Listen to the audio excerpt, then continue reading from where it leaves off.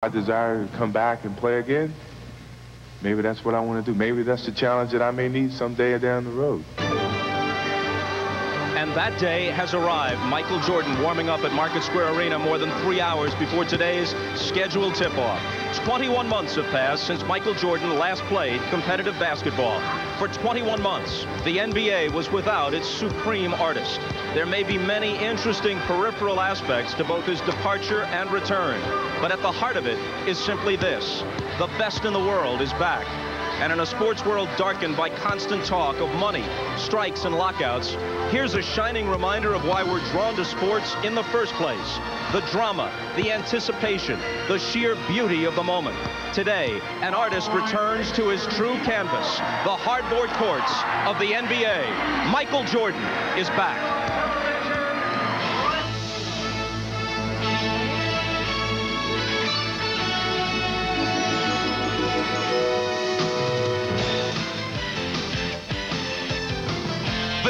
Is the NBA on NBC. Today, it's the Chicago Bulls versus the Indiana Pacers. And listen to the roar at Market Square Arena. SRO crowd sitting in on history. Glad you folks could join us too. Hi, everybody. I'm Bob Costas. What Michael Jordan does today and what he will attempt to do in the next several months and maybe years is truly unprecedented. It's never happened in team sports. Muhammad Ali, not in a team sport, left, regained the heavyweight championship when he came back. But in team sports, guys like Jim Brown, who left at the peak, or Sandy Koufax, whose arm wouldn't allow him to continue, they never came back. Today, Michael Jordan, at age 32, tries to accomplish what no one else truly has in team sports history. I'm seated alongside the voice of the NBA on NBC, Marv Albert. Marv, you've chronicled this league for more than a quarter of a century. You've been around for all the great events, but this is truly something special. Well, first of all, in most instances, instances when an athlete attempts to make a comeback, usually they are past their prime. People like as you mentioned, Muhammad Ali, who was able to come back, Sugar Ray Leonard, uh, Gordie Howe in the National Hockey League, and Bob Cousy, although Cousy was 41 years of age, so there's been no measuring stick. And when you consider the demands of a sport like NBA basketball, it is truly remarkable what Michael Jordan is attempting to do. Well, knowing Michael Jordan, he doesn't want to simply be effective or even be an all-star. He wants to be the best again. He wants to dominate. Can he, and if he can, are the Bulls a championship contender? Well, Phil Jackson has made it clear, as he likes to say, we still have problems retrieving the basketball. Uh, there is not a quality power forward on the team. And aside from that, should the Chicago Bulls go all the way to the finals, now we're assuming that if things go well, they will pass by the Cleveland Cavaliers, but should they go all the way, they will not have the home court advantage in four straight series. Now, we know Michael is Superman, but it will be a very difficult test. Now, Michael, as ever, doing things on his own terms, so he has decided not to speak to the media at all, including us here at NBC, until after the game is over. But Ahmad Rashad spent the last 24 hours with Michael both in Chicago and en route here to Indianapolis.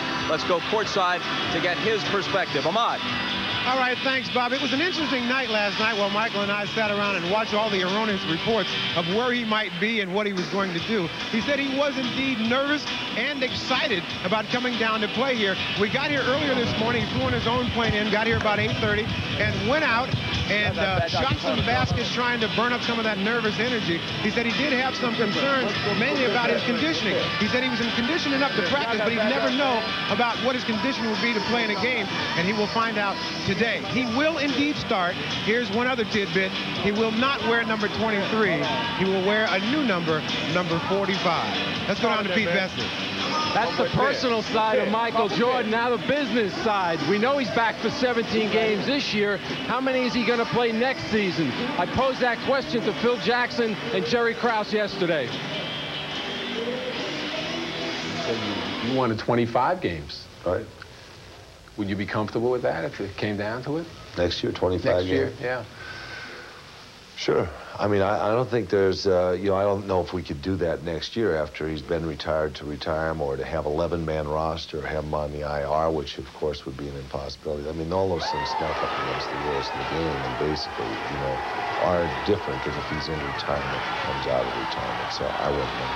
We would want Michael to make a commitment to play basketball and, and uh, you know, and, and you know, be a obviously a full-time player. Yeah, that would would be something that certainly would have to be discussed and and talked about, and and uh, uh, you know, it's very hard to form your team and to uh, to put a team together when you have a player on a, on a very limited time basis. I talked to Jerry Reinsdorf, the Bulls owner, yesterday, and he told me that they are totally, that, that Jordan is totally committed to them for a full season next year, just as they're committed to re-signing him when he becomes an unrestricted free agent after last year. Reinsdorf wants to clear up a lot of issues here. Jordan did not come in and demand that Scottie Pippen or B.J. Armstrong or anybody else is on this team after this. And uh, he also wanted to clear up the fact about money. Jordan is not being paid until he was not being paid until he quit the White Sox. He will get his entire $4 million contract, Reinsdorf says, for playing 17 games and four playoff series. That's it from here, Bob. Right to you. Thank you, Pete. Boy, oh boy, listen to the reaction here at Market Square Arena as Michael took the court. And after Peter Vecsey broke the story first on NBC yesterday of Michael's return, reaction around the NBA was swift. We canvassed many players and coaches for their thoughts. Here it is. I wish they'd heard a baseball strike, but uh, you know it's going to make it a lot tougher for teams like us, uh, Indiana, Cleveland. You have to uh, put Chicago right back up there as a contender for the championship now. It's good for our league, you know, and I'm happy that he, he made the right decision.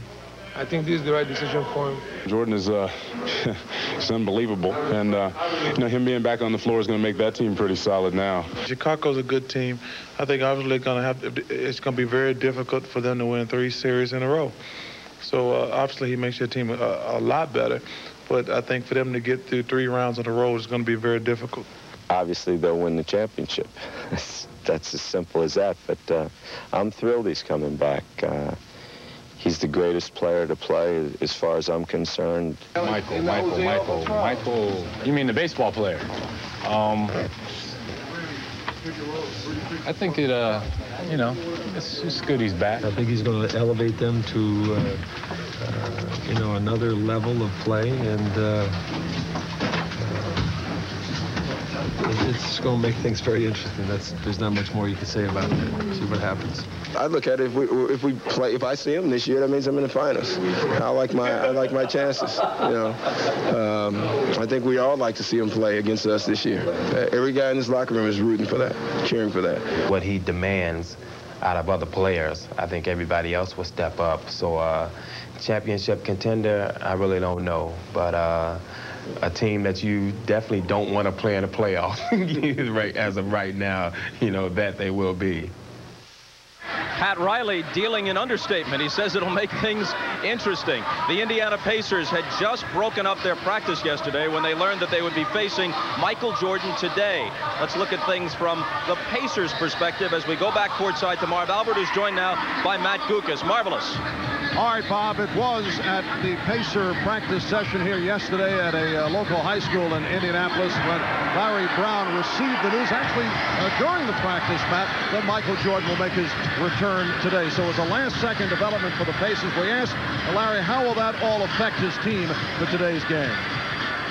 It'll make our guys a little nervous, but, uh, you know, every time I've ever coached against Michael, I found myself being a fan. Um, I, I, think most coaches in the league would say the same thing. Uh, but Chicago doesn't do anything any differently, you know, with Michael in the game. Uh, they just do it better.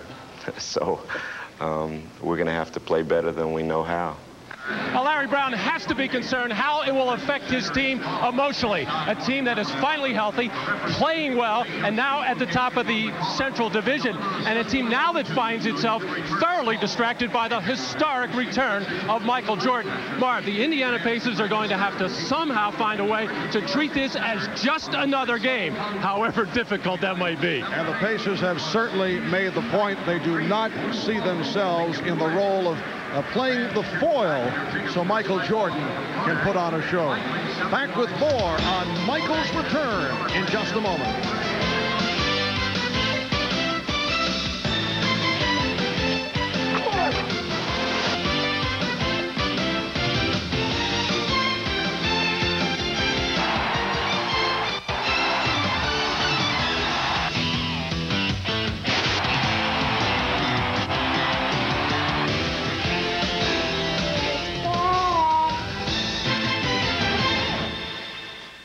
Chicago, a statue to Michael had been dedicated, and then the number 23 raised to the rafters, and that number 23 stays retired, at least for the time being, as you heard Ahmad say, that Michael will wear his number 45 today, his baseball uniform number for his return to the NBA. Will he start? Seems a foregone conclusion that he will, but that was the logical first question when Marv Albert sat down with Phil Jackson. Here it is. Yeah, I think we'll find some time for him. I hope we can play him 30 minutes, though, not get 40 minutes or something that's going to get wacky out there. With all that is swirling around, will the club be ready? I find it very difficult for these some of these players to be able to go out on the floor and play with him. I, I don't know. You know, he's been at practice three times, maybe we count four, even though it's abbreviated practice. And at that level, some of them haven't even got an opportunity to be on the court or the same team with him. They've been on the court with him, against him, or whatever. So I, am going to find it difficult for everybody to play together. But I'll put him with, you know, Perdue, Pippen, uh, and Armstrong, so he has kind of a familiar group to play with. What is your your plan for Michael today in terms of minutes? Uh, will you make the decision on lifting him? Will he tell you when he's tired? How will that work? Well, his, his first run's going to be important, and I'll probably start him and see how he runs the first uh, you know, six minutes or so till the timeout. And, uh, you know, he'll let me know from then on. He'll signal, signal me when he come out. And, you know, to be honest with you, I probably want to play him in the point guard with the second unit or play their point guard, Fleming, because that's going to be a problem for us. And, you know, I see strategically there's certain matchups that are better in the game than chasing through picks and running around with shooters like Miller and Scott. I don't think any coach has gone through what you are going through this year. First, you're thinking about your limitations. Obviously, the Bulls have played well as of late. Now, people are saying, you can win the title. I mean, how, how do you react to that? You go from one extreme to yeah, the other. It, it is a vacillation between have-nots to have-lots. And, you know, the reality is, you know, we still don't have a power player that can throw his body around or rebound or get the ball back for us.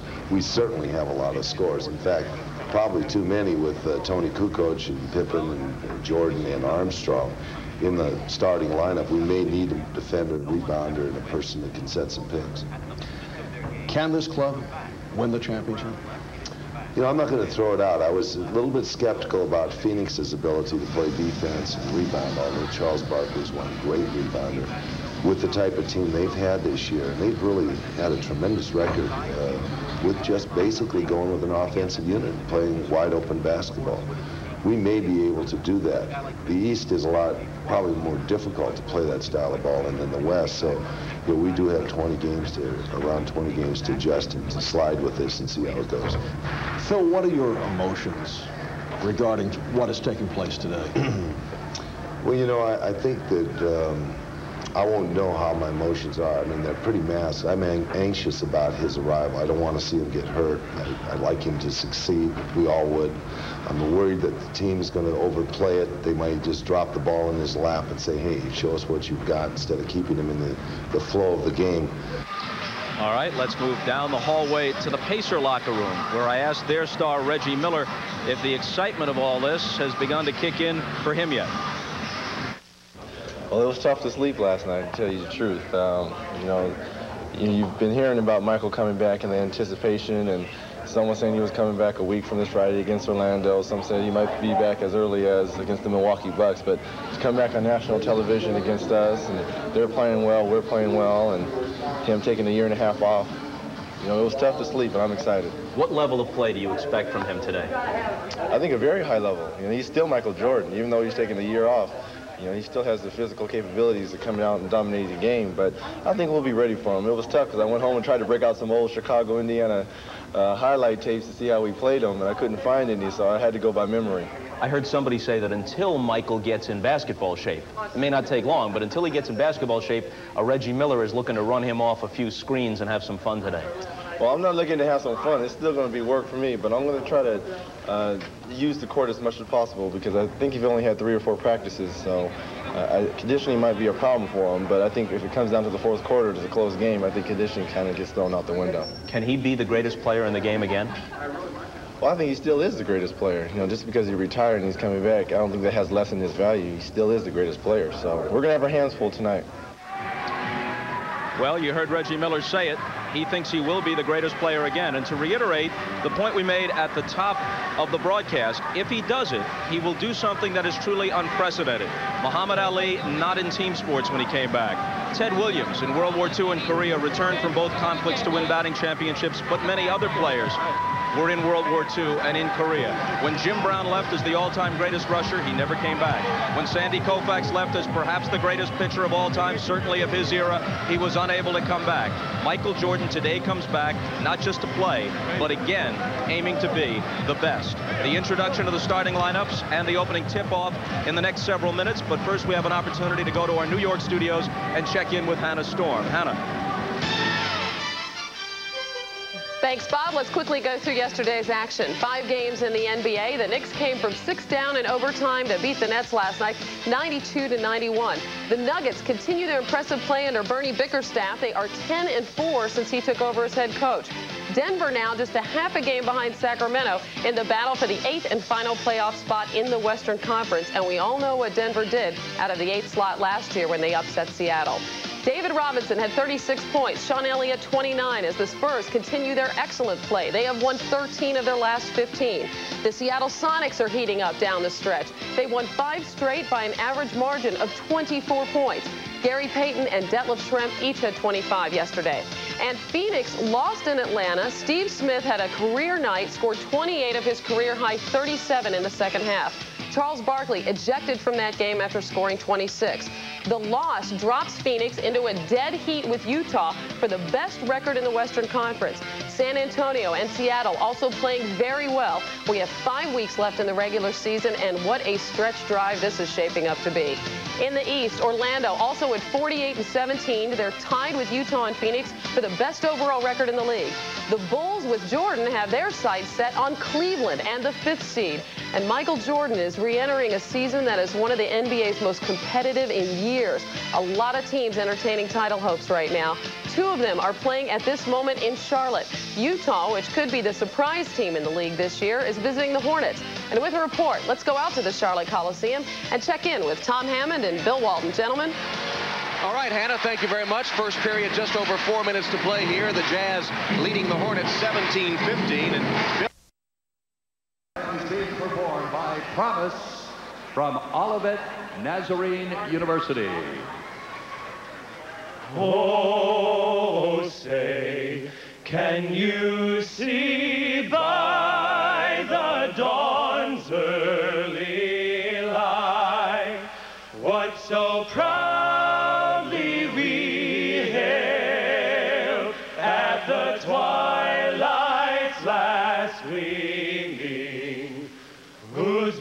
stripes and bright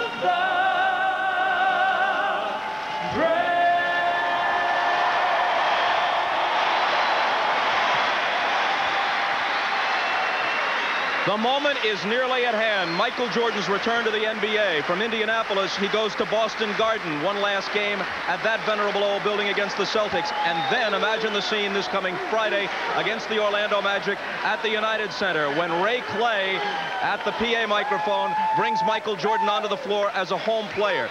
This won't have quite the impact, but it should be a terrific scene.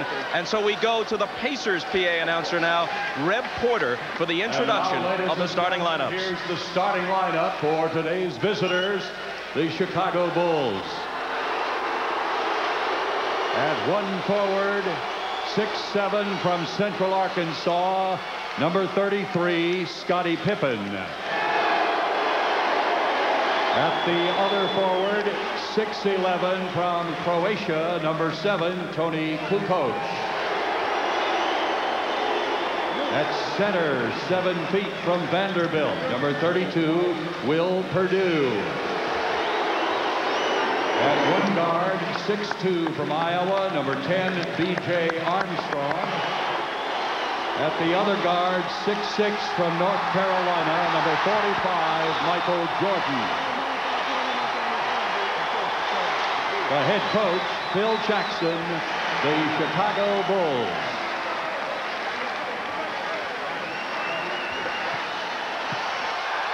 And now, Pacer people, let's get on your feet and make some noise. Everybody knows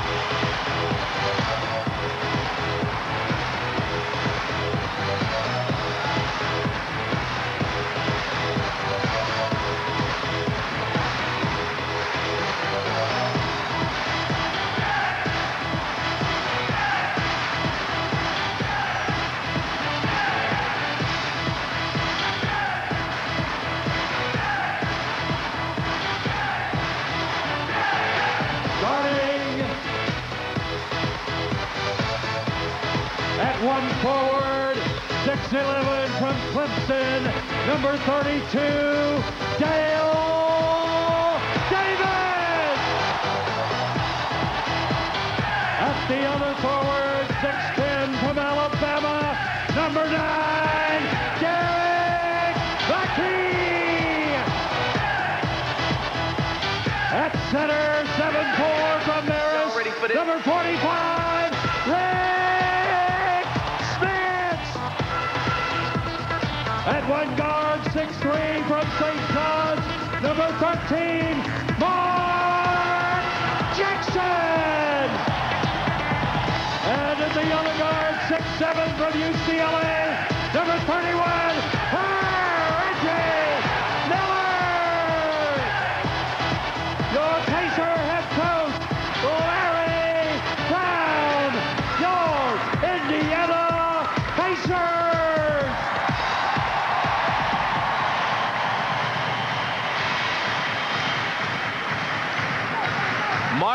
was at the mic for the last game Michael Jordan played in the NBA prior to today, game six of the finals against Phoenix in June of 1993 as they capped the run of three consecutive championships and Michael was named the finals MVP for the third consecutive year. So it's fitting that Marv is set to call it now as Michael returns and the Bulls get set to tip off against the Pacers here at Market Square Arena.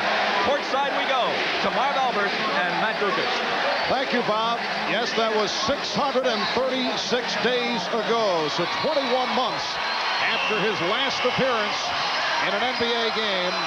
Only five months after his number 23 was raised to the rafters in Chicago, Michael Jordan has returned, and he's wearing number 45. And Matt, for you trivia buffs out there, the last member of the Chicago Bulls to wear number 45 back in the 92-93 season, a fellow by the name of Ed Neely, who was a very popular member of the Chicago Bulls. I remember Ed well, also with the Phoenix Suns. Marv, there's a, a lot of special moments in NBA basketball. Usually the opening game of the season, the playoffs, seventh game of the series, the finals. I don't know about you, but I got the goosebumps for this one. This is very special. Interesting, and it is home team privilege how they did diffuse the introduction of Michael Jordan, making sure that the Pacers got their due. Very quick in ending the announcement, letting the crowd respond as they did, and then getting right to the Indiana Pacers. And Derrick McKey of the Pacers controlling the opening tip. The officials, Dick Bavetta, Ken Mauer, and Ed F. Rush. Mark Jackson guarded by B.J. Armstrong. Michael Jordan on Reggie Miller here at the start, and Jordan comes up with the ball. Uh, Michael Eberle actually was knocked loose by Will Perdue, but Michael's so quick right now. He looks lightning quick. Well, he does have the fresh legs. Not in outstanding basketball condition, but in very fine physical condition. Here is Toni Kukoc dumping it off. Will Perdue pops it out. Michael Jordan looking for the shot. Not able to hit on his first attempt. Shot clock was down to four. That's when usually Scottie Pippen used to get the ball. And before that, that's when Jordan would get it under those kinds of conditions by Jordan, played by Jackson to the spin. Oh, oh. Rebounded by Rik Smits. Well, Phil Jackson told us earlier he was concerned that the Bulls will be looking too much for Jordan. Reggie Miller not able to hit from downtown.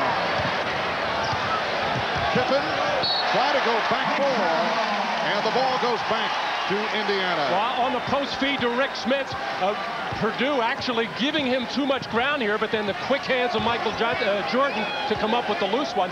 Both shots that Michael had taken have looked smooth and nice, just haven't dropped yet. Double team on Smits, got it out for Jackson. Rebounded by Dale Davis. And here is Smits. Well, the NBA Player of the Week this past week, Rik Smits, who has been on a tear, gives Indiana, a 2-0 lead. Kukoc at the high post. Armstrong cutting to the corner. Led by Jackson and that double team. Here is Kukoc finding Pippen for three.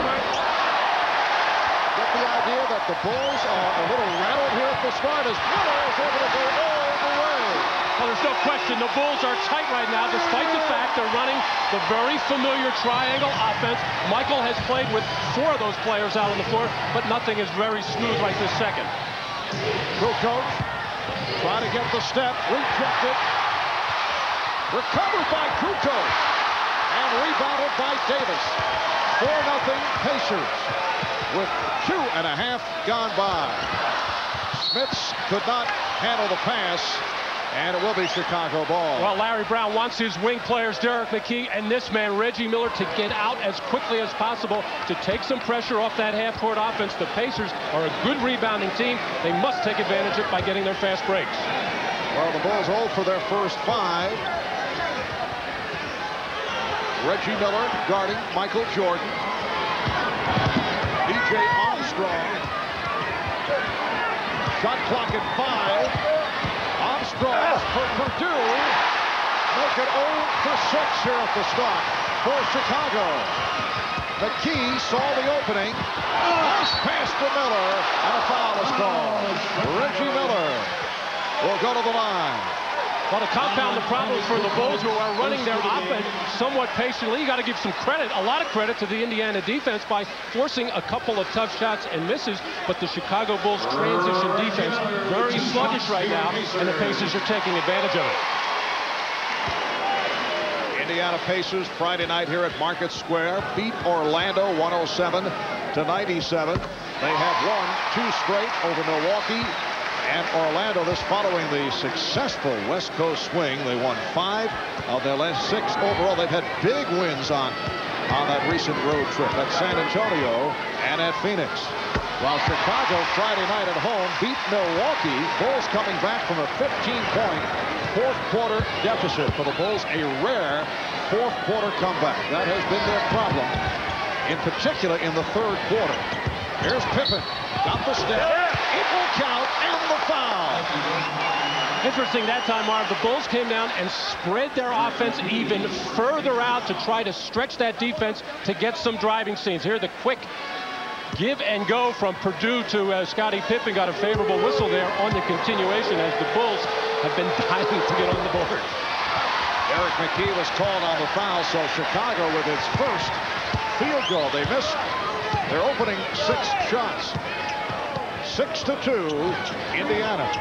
Third meeting of the season between these two clubs. They split the previous two. Miller for three. Reggie Miller. And that is career three-pointer number 999 for Reggie. 9 to 2, Indiana. Kukoc from deep. And back comes McKey.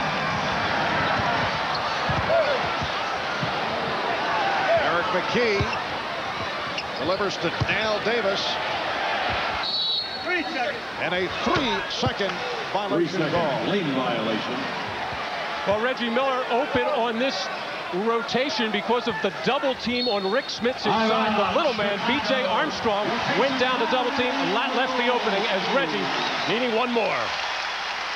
Yes, looking for number 1,000. Chicago opening one for eight. Square Arena, Indianapolis. Capacity crowd better than 16,000 on hand. A franchise record 17th sellout. And uh, the crowd receiving a bonus. This was a sellout over the last couple of weeks, but the bonus, the eagerly anticipated comeback of Michael Jordan, who has missed his first two shots. Four minutes have gone by, and the Pacers lead 9 to 2. Jordan now posting up. Jordan with the turnaround. Making 0 for 3 for Michael. Getting good shots, but not able to hit. And the Bulls are one for their first nine. Mark Jackson setting it against B.J. Armstrong. Defensively, Jordan remaining on Miller. Perdue jumping out, but could not hold on. It will be Indiana ball with six on the shot clock. The Bulls coming out of the timeout and going to a post-up for Michael Jordan to see if they can't get him inside or get fouled. He's probably not going to get fouled on too many fadeaways. Michael, I have a feeling, is going to start taking the ball to the hoop. Beautiful setup from Jackson. Mark Jackson for Dale Davis, and the Pacers lead 11 to 2. Here is Pippen.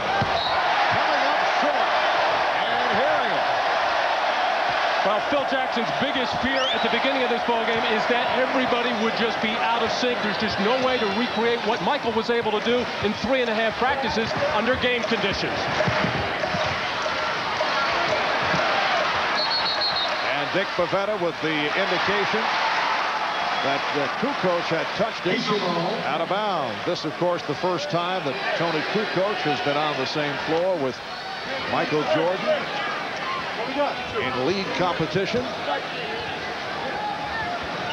Clock at eight. Miller from way downtown. Davis gets inside. So Chicago continues to have difficulties off the board. Davis, five rebounds, two block shots, along with four points, and it's a 13-2 Indiana lead. 6.35 remaining in this opening quarter. Jordan fires. Rebound Smits. So Michael has missed his first four. And all of those shots are hitting the front rim, an indication that the legs are a little tired. Reggie Miller going around Michael Jordan, but coming up short on the reverse, and a foul is called on the Pacers. It's on Smits. That is his first. And this is always a concern of Larry Brown with Rik Smits. He'll usually pick up a couple of ticky-tack ones early, similar to that or a New block. But it's nice to have Antonio Davis back and healthy and making major contributions. Antonio Davis has had back problems, and he is about to uh, check in. Dale Davis has had problems with a separated shoulder on, on two occasions. Fouls on Mark Jackson. This is Antonio Davis. replacing Dale Davis. Antonio Davis's wife giving birth to boy and girl twins earlier this week. In fact, missed a game because of that. Here's Jordan, and he's rejected. And Perdue will jump it up. Well, you could see that coming side out of bounds. The first, this is the first time they've gone to a screen roll situation for Michael in the deep corner. Another opportunity for him to score, making a good hard move, but just just out of sync and releasing the ball right now. And the other Bulls are not able to make up for it as they seem to be rooting and pulling for Michael rather than just playing their game.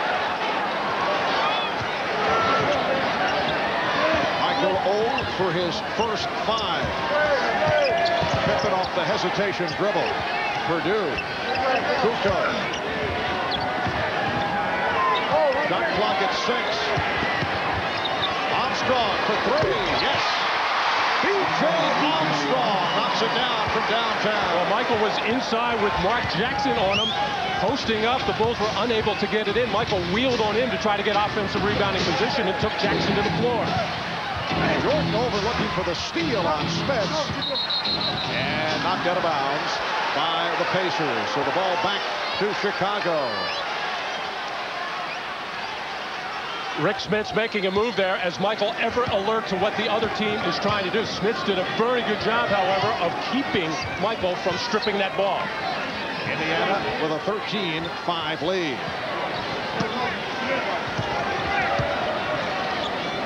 Again, Posted this time against Jackson. Facing the double team, a leg block called on Miller and a new 24 awarded Chicago. Here's Corie Blount, second-year man out of University of Cincinnati. First round draft pick last year, replacing Toni Kukoc. Well, the Bulls starting to get hurt on the Pacers offensive boards. Needs a bigger player in that Corie Blount, hopefully to do a good job on the defensive boards for Chicago. Jordan backing his way and then throws it out. Here is Pippen extending. Scottie Pippen with a strong move. Indiana with a 13-7 lead. It has been an incredible scene here in Indianapolis the last 24 hours. More than 200 additional media credentials were needed as McKey is able to hit. Derrick McKey with his first field goal. Scalper prices outside Market Square. Courtside tickets said to be going for better than $1,000 a pop. In the, uh, the nosebleed section, we're told in the area 400 to uh, $500 per ticket. Corie Blount rebounded by Rik Smits. Jackson. McKey. Drive the reverse. Kept alive by Miller. Feeding Jackson. He changes his mind and a beautiful look from Derrick McKey. Again, Mark Jackson wide open. He has been playing so much better since the Davises have come back and made a big difference in the Pacer Ball Club. His game has picked up as well, especially in the assist to turnover area. Pippen. On the back tap taken by Perdue. Jordan gave up the shot to beat Scottie Pippen. And Michael knows that he's about to come out. He sees Pete Myers waiting to check in as Phil Jackson gave Michael a good eight-minute run. I think he was a little upset at a defensive sequence between Michael and Pippen about a minute or so ago, but Michael was due to come out anyway. Jackson has five assists in this opening quarter. Miller. Miller.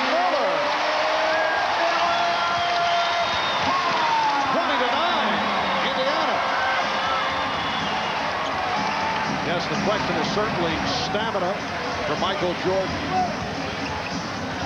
Jordan for Perdue, who is fouled. Double teamed by Jackson and Smits. Foul is called on Jackson. 2.59 remaining in this first quarter. We'll be right back. Exactly what Michael had in mind, but a long way to go. First nine minutes, 0 for 5, one steal, and one assist, and he will now sit down to get a rest. Earlier, we talked with Reggie Miller of the Pacers about Michael's return. This is Reggie's reaction. Even though he- he's been playing professional baseball for the last year, and I think uh, mentally he's still focused in on basketball and has been watching it closely. And he's been practicing with them for the last week and a half or so. So I think conditioning-wise, he might be a little bit tired early in the excitement and the drama and all that, but you know, come third or fourth quarter, he'll be the same old Michael. I think Larry Brown has to be very happy with the way that his team came out and started this game and withstood the emotions of the event and came out and played their game. They have eight assists out of, out of their uh, first nine field goals. So a good sign that the Pacers are playing their game. And Chicago, 4 of 17 from the field. Save attempt Indiana 8 of 14, and the Pacers with a 10-point lead. Let's uh, check in with the Dean, Ahmad Rashad. All right, Marv, those comments that uh, Reggie Miller just made were right on. Michael had said before the game that he felt he was in shape, but the anxiety and the emotion of the game would probably pay, play a toll on him. What he didn't want to do was to press his offense. He was hoping he could stay in the game, play defense very strong, and maybe pass the ball a little bit, and all the other things would come. He hoped to try to get it going as the game went on, not try to do it right off the bat. Marv? All right, Ahmad. Substitutions for Indiana. Byron Scott has checked in, as has Vern Fleming. Pushing foul. Luke Longley is on the floor for the uh, first time for the Bulls. Vern call for the foul. Reggie Miller sitting down. Strong first quarter for Reggie with 10 points, including his 1,000th career three-pointer. Hit two from downtown in this first quarter. Here is Scott. Broken up by Longley. And Pippen delivers to Myers. Myers for B.J. Armstrong. Rebounded by Blount. That was intended for Longley. Here comes Fleming. Vern Fleming. Let it be recorded that uh, Michael Jordan was replaced by Pete Myers, who was the man who ended up in the starting role when Jordan retired. So Pete Myers has uh, checked in coming on for Michael. I talked to Pete before the game, asked him how he felt about it. He certainly understood, despite the fact that this team has played very well over the last 13 ball games. 9 and 4, they won 8 out of 10 and 3 in a row, and Pete Myers has been a big part of it. Yes, I would think he will understand the circumstances. That's an offensive foul. Luke Longley called on the foul. The ball goes back to the Indiana Pacers.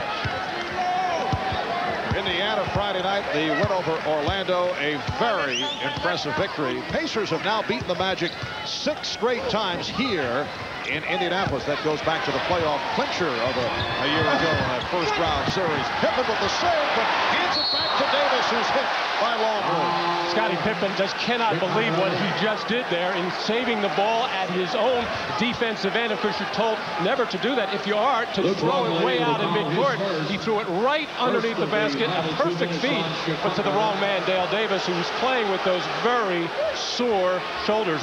One has been dislocated on two occasions, and one could pop out at any time, and that could be disaster for the Pacers the rest of the way. It's called a non-shooting foul by Rick Scott and kept alive by Antonio Davis. We come up on one minute remaining in this first quarter. Dale Davis from the outside. Davis tried to sweep in for the rebound and a foul call.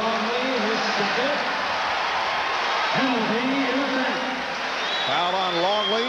It puts the Bulls over the limit.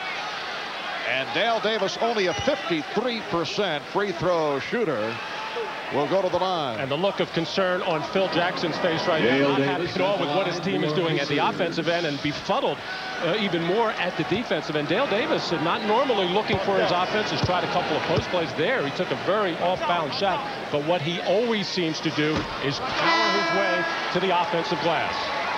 The free throw shooting of Dale Davis among active players. Well, he's unfortunately right there, a dubious distinction behind Chris Dudley and uh, Chris Webber in terms of having his difficulties up the line, but he does hit the second. Phil Jackson here in the first quarter is seeing his his greatest fears realized. The Bulls out of sync. Michael Jordan 0 for 5. And Chicago just having a very difficult time getting off. Making the adjustment with the return of Jordan. Armstrong hits the three. And the Pacers now lead 21 to 13.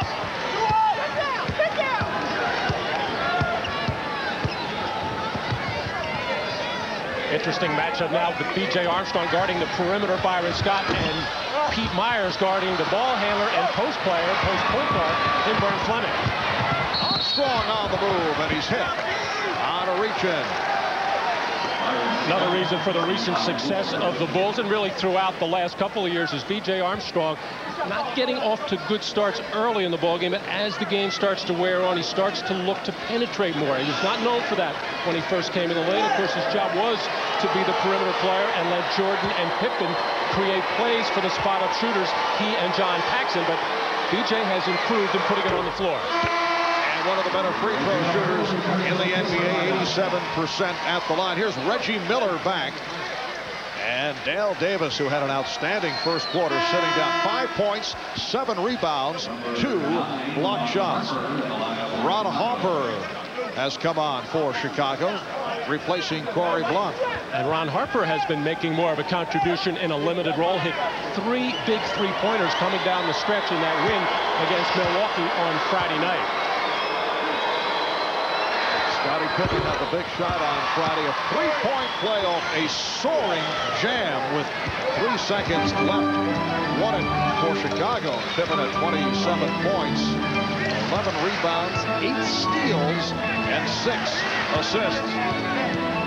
Final seconds of the first quarter. A pass intended for Ferrell just came on. Byron Scott checking the clock. Too late. The first quarter. Michael Jordan makes his return. Goes nine minutes. Goes 0 for 5 from the field. Reggie Miller hits two from downtown. Three of six overall for 10 points. And the Pacers over the Bulls 21-15 here at Market Square. You are watching the NBA on NBC. Eastern Conference rundown. The Orlando Magic on top, although they have lost three in a row. Indiana leading in the Central Division. The Knicks are five behind Orlando in the Atlantic. And uh, Charlotte a half game behind Indiana. But that home schedule for Indiana very promising. They began the season playing 21 of their first 33 on the road and did well, so they have a, a favorable remaining schedule. And favorable also because the Davises are back. Antonio Davis, who missed 38 games so far this year after the uh, operation a, for a bulging disc, is back, and he is a key player. It's going to be key for any of the teams in both conferences to have that extra big man inside, and that's what Antonio Davis represents along with that man, Dale Davis. Indiana actually in the midst of a stretch with overall 15 of the last 21 here uh, at home. It's a 21-15 Pacer lead. Chicago only 5 of 19 from the field in the first quarter. Indiana 8 for 20 and off the boards the Pacers rocking the Bulls to the tune of a 16-6 advantage. And seven points off those 16 rebounds. And I think Phil Jackson's going to start to think about it, and it might not be in a game or two, but changing the starting lineup, going back to maybe bringing Kukoc off the bench and get maybe a Corie Blount, a bigger body in there to do some of the dirty work inside. Off the steal, Vern Fleming for Byron Scott. Antonio Davis, Duane Ferrell, and Rik Smits are up front. Indiana, a very deep ball club. They go basically with a 10-man rotation. Here's Fleming with the clock running down. Rebound Smits. The Pacers lead by eight. Pete Myers trying to break, but Byron Scott able to get back. With this particular lineup on the floor for Chicago, I got not a lot of firepower, just BJ and Scottie Pippen. And Pippen drills it home. 23-17 Indiana. After the slow start by Chicago, they did finish with a 6-1 run at the end of the first quarter. And have to be excited and thrilled with only being six points down for as poorly as they played in that first quarter. Well, they started, Matt, 1 for 12 from the field. Scott, that's a three-pointer for the 33-year-old Byron Scott, who has been playing extremely well. Outside official, Ken Mauer with the call. It's on the Pacers. It's on Ferrell. And here's Steve Kerr checking in as uh, both clubs have done quite a bit of shuffling here in the first half. On the subject of Byron Scott, Larry Brown says he is the Pacers' best athlete. He's played so well both this season and last season. Uh, last year, the Pacers gave him a new two-year contract. Longley, wild shot, rebounded by Blount, and a loose ball foul called. In that triangle offense, there are just so many jump shots that are taken, which affords a lot of offensive rebounding opportunities. And if you're alert, as Horace Grant was for so many years, you can pick off a lot. Corie Blount is starting to get a better feel for this offense. Call for the foul again. Pippen will go to the line. Scottie Pippen actually had the ball knocked away, was trying to tap it uh, to the hoop as he was hit by Antonio Davis. And now Scottie Pippen will shoot two. Minute 45 gone by in the second quarter. Pacers with the 26-17 lead. Marv Albert with Matt Guokas, on Rashad. Costas is with us. Michael Jordan is with us. Played the first nine minutes, 8.59 of the first quarter to be precise, but missed his first five shot attempts. Sam Mitchell comes on for the first time. Sam Mitchell has been in and out of the starting lineup, what with the injuries suffered earlier by uh, both Dale Davis and Antonio Davis. And now we see the Bulls extending their defense after the free throw situation. And I'm sure this is something they're going to go to more and more now that Michael Jordan is back. They'll be able to use Kukoc and Blount, big people up on the ball, much as Horace Grant used to. And that used to create a lot of turnovers and easy hoops for the Bulls. Yes, that's a subject that we have touched on on a number of occasions when we've seen uh, Chicago play. Pete Myers is able to hit the jump shot. Uh, the fact that the Bulls trap so successful in, in recent years has uh, not been an operation, but with Michael Jordan back, it, uh, it's certainly a different picture when it comes to the defensive end for Chicago.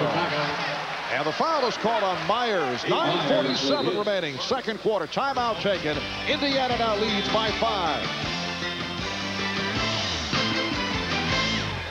Golden State battles Shaq and the top team in the East, the Magic, next Sunday on NBC. Today's the day. Toyota dealers everywhere are celebrating the beginning of spring. The right time to get financing as low as 2.9% on the right car. The all-new Tercel with a low starting price of $99.98. Beautifully designed, inside and out, and beautifully equipped for around 13. It's Toyota's Today's the Day sales event. And with 2.9% financing, your Toyota dealer wants to get your spring off to a great start. In the middle of my workday, I don't do power lunches. I do power lifts. And when you work out this hard, better use a deodorant that works hard too and never quits. That's why I use Speed Stick. Gives me 110% protection that lasts all day. And fortunately, all night. Because while I may not have time for lunches, I always manage to find some time for dinner. Speed Stick, like you, it never quits. Five minutes.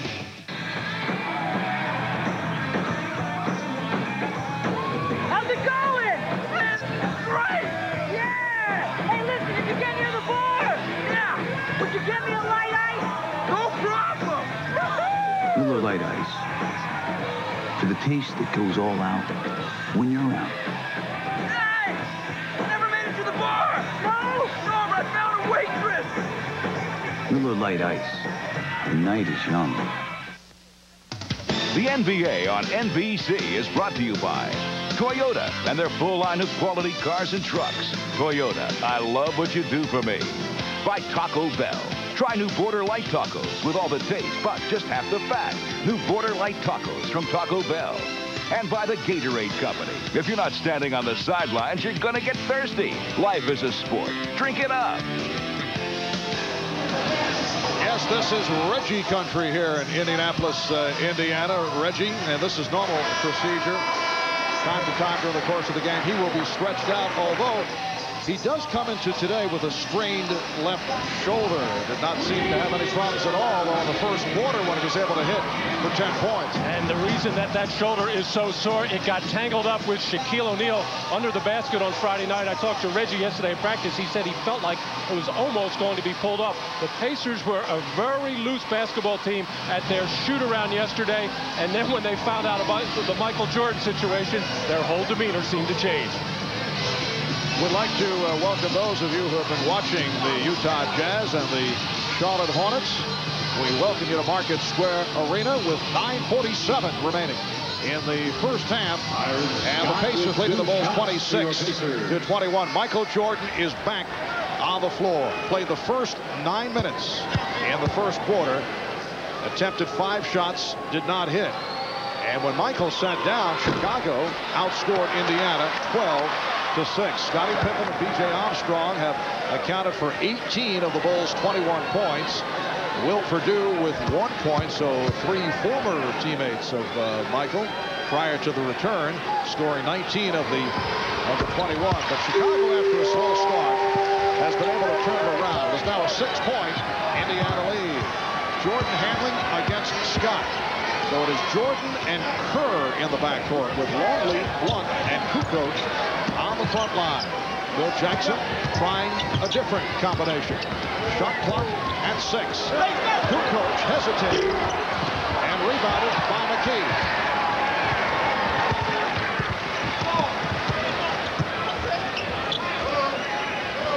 Sam Mitchell. He was looking down low for Rik Smits, who was well covered.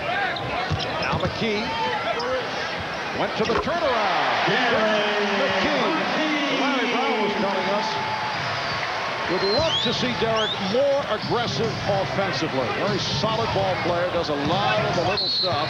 Timeout is taken by Kerr, who is in trouble with uh, Vern Fleming all over him. It's a 20-second timeout. Uh, Phil Jackson is very upset right now with the way that this team is executing. But keep in mind, right now, Michael Jordan is out on the floor with four players that he has never played with before, other than a number of minutes at practice. And Phil Jackson also told us before the game that some of the fellas never even got a chance to play with Michael. Michael. So there's going to be timing problems. Right now, in effect, Michael is the point guard. He's going to handle the ball the most. Toni Kukoc will get to handle it. Steve Kerr will fade to the corner, fade to open spot for jump shots. But that was just a simple little entry play to get into their triangle offense and handled very poorly by Blount. And Phil Jackson wants to get things straightened out. Wait a second. Is it possible does Michael have the uh, the pants on backwards, the logo in the back? Let's see. Normally it's in the front. Here is Jordan getting the step. Oh! And Smits with the rebound. Jordan breaks off the outlet. And that's the old Michael Jordan there, coming out of the backboard. After the other team gets a defensive rebound, that's when Michael becomes extremely dangerous. He has a feel for where that next pass is going, and he'll pick plenty of those off the rest of the way. Outside of Pippen and Armstrong, the rest of the Bulls shooting a combined one for 14. Shot clock at five. Good fake by Smits. And he's fouled. Rik Smits throwing the fake at Luke Longley. And then Jordan came over to help out. And he picks up his first foul. Well, Rik Smits is just such a confident offensive player this year as it's been de developing over the last couple of years. Just a little pump fake to get Luke Longley on a very poor defensive play, but then Smits doing the wise thing, taking it hard to the hole, knowing that somebody was going to bop him. It was Jordan coming down to help out and force Smits to the line. Rik Smits averaging 17 and a half per game. He's a 74% free throw shooter. Comes off a good one, 8 for 16, 21 points against Orlando on, on Friday night. 10-point lead for the Pacers.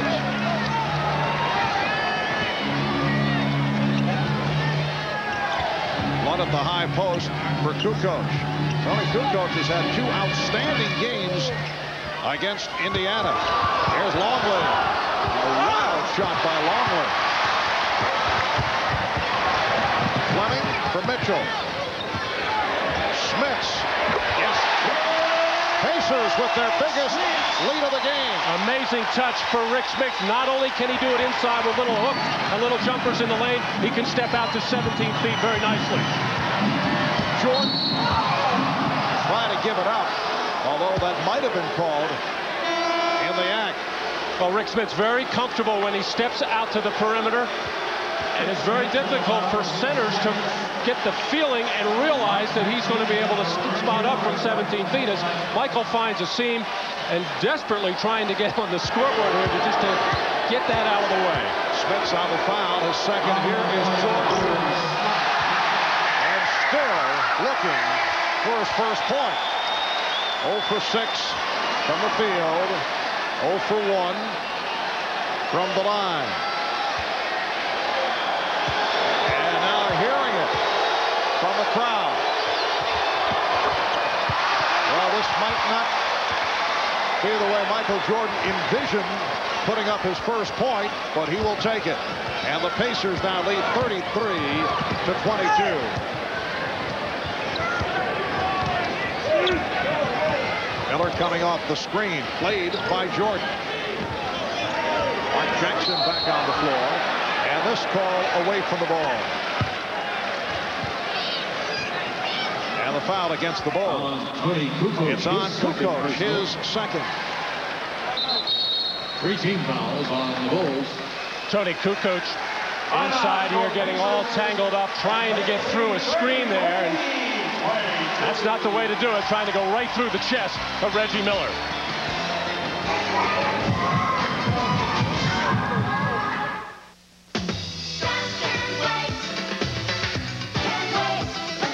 The day to see your Toyota dealer and experience the luxury of Avalon. And right now, there's a wide selection starting at only $22,758. Experience the all-new Avalon. Hey, Chichi, got room for a foursome? Sure, and then some. Take advantage of Toyota Previa's special lease program. Imagine a Previa with lots of options for only 299 a month. It's Toyota's Today's the Day spring sales event, so hurry. Hey, there's Chi-Chi.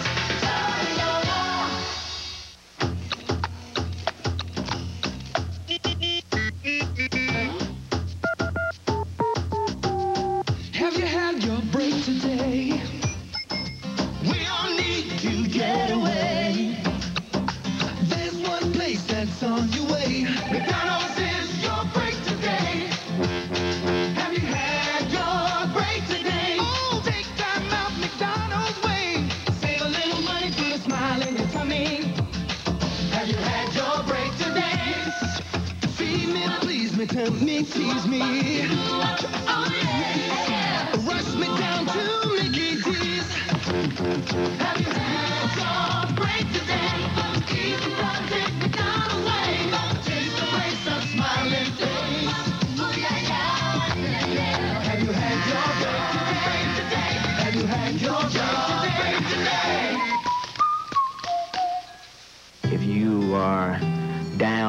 You can always go out and play this game. It feels good just to be out there on the court trying to help your teammates win the game. And I'm on the court, Mike in a zone, and I'm able to make some good things happen, not just for myself, but for my teammates. I just love to be out there to perform for people. Just showing people something something special. But the, the only thing that really matters is the love of the game, because the game is sacred. Defending champion Loren Roberts tries to win it again, but the strongest field of the year is on his heels. Final round coverage of the Nestle Invitational next on NBC.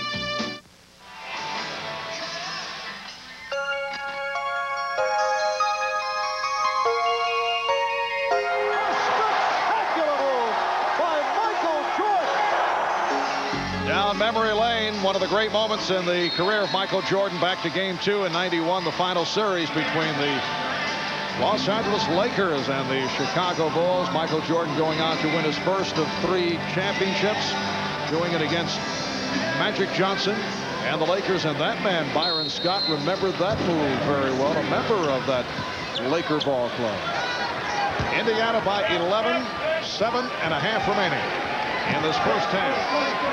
Rik Smits. Bobby put the move on Will Perdue, who was checked in for Luke Longley.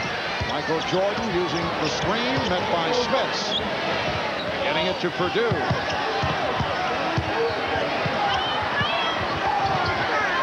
Perdue's pass broken up by Mitchell with eight on the shot clock. Michael realizing himself that he's pounding the ball a little bit too much right now, looking very hard to create some things and probably thinking too much out there right now. He's going to have to have a couple things happen where he can just relax and play. It knocked away. Good hands by McKey. Six remaining on the 24th. Crowd wanted the call against Chicago.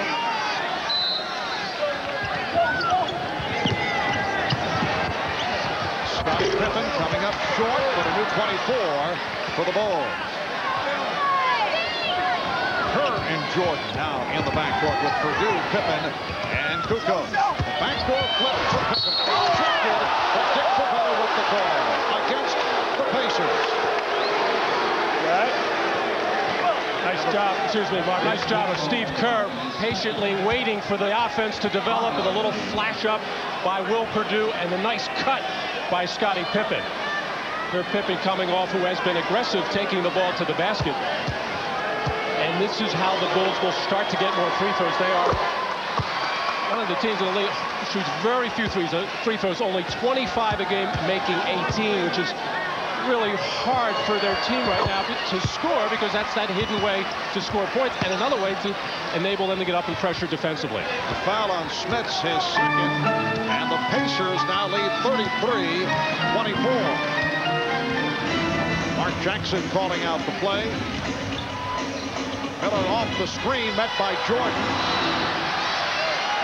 Michael getting more aggressive defensively. Open shot for Mitchell. Indiana leads by 11.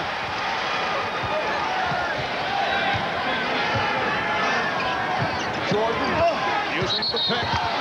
An offensive foul is called as Will Perdue was on the move and setting that pick. Uh, Scottie Pippen took that ball hard to the basket, got banged by a couple of Pacers and hurt his wrist on the play, was shaking it for a while there as he's communicating with Toni Kukoc as Scottie holding on to that wrist as he banged it hard on that left-hand layup attempt. Here's Mark Jackson. Mark Jackson with his first field goal to go along with five assists. Indiana 37, Chicago 24. First stop by Jackson. And Jordan resets. Now picked up on a switch by McKey. Kerr for three. And a loose ball foul. It's on the Pacers. It's on Mitchell. Indiana is over the limit. Now Bill Wennington and B.J. Armstrong checking in for Chicago. Steve Kerr sitting down. That was not the kind of shot that the Bulls wanted there. However, Steve felt the shot clock was winding down, launched the quick three with a hand in his face. But this man, Will Perdue, one of the best rebounders in the league per minute played. You see there, seven rebounds in 21 minutes. One in three is outstanding. There you see those numbers. Last year, Will, a forgotten man, not even on the playoff roster, took that very hard, but to his credit, battled back hard in the summer to work his way and took advantage of the departure of Bill Cartwright to become the starter here in Chicago. Indiana by 13. Once again, with Michael Jordan on the floor, the, the Bulls have fallen back a 10-3 run by the Pacers since Michael made his return. Here's Miller. And rebounded by Dale Davis. Miller again. Rebounded by Dale Davis. Jackson passing on the three. Dale Davis has 10 rebounds. Just under five minutes remaining first half. Antonio Davis rejected by Will Perdue. Kept alive. McKey. McKey off the boards. And hit. Oh, you know, that's driving the Chicago coaching staff crazy. You cannot get that many opportunities. The Bulls' rebounding problems continue. Perdue. By, yes, Dale Davis. And they are absolutely and thoroughly dominating both backboards. Jordan got picked off. Miller fires. Yes!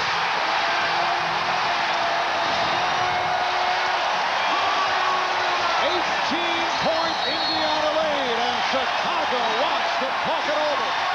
Well, long jump shots mean long rebounds, and both Michael Jordan and Scottie Pippen have been flying at people, but that leaves openings in the seams to pick off those long rebounds.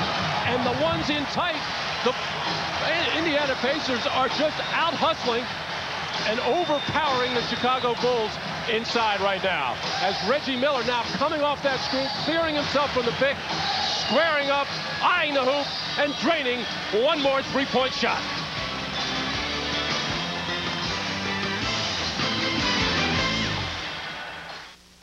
You're watching the NBA on NBC. And 34 seconds since Michael Jordan made his return after that nine-minute stint in the first quarter with Michael back on the floor. Pacers with a 15-3 advantage. Jordan still looking for his first field goal. And there it is. Michael Jordan, after missing his first six shots, able to connect. He has only three points. Well, here it is. The first time the Chicago Bulls just went flat out isolation for Michael. Reggie Miller, knowing that Jordan has been struggling from the field, did the wise thing and got off him because he knew Michael was thinking possible drive here, gave him the jumper, and Michael finally nails one. At the other end, it's Jordan called for the foul. Just under four minutes remaining in this first half. McKey, feeling the contact, went to the hook. Pippen lost it. Ball slipped out of his hands. Pacers 42. The Bulls 26. Oh, oh nice, nice idea. Antonio Davis cutting, lost his man with the pass off the mark. Here is Armstrong for three. B.J.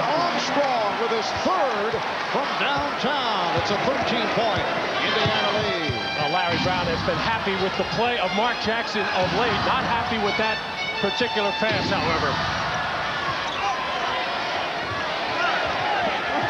Antonio Davis had it knocked away, but recovered. Shot clock at four. Jackson for Davis. It's a 24-second violation or a foul call. Let's see. Dick Bavetta says foul on the play against Chicago. It's on Wennington. Well, on that cut by Antonio Davis, it was supposed to be set up as a screen roll situation. Jackson with the wild behind the back pass, and B.J. Armstrong makes them pay for it at the other end as he seems to be feeling very comfortable with his offense.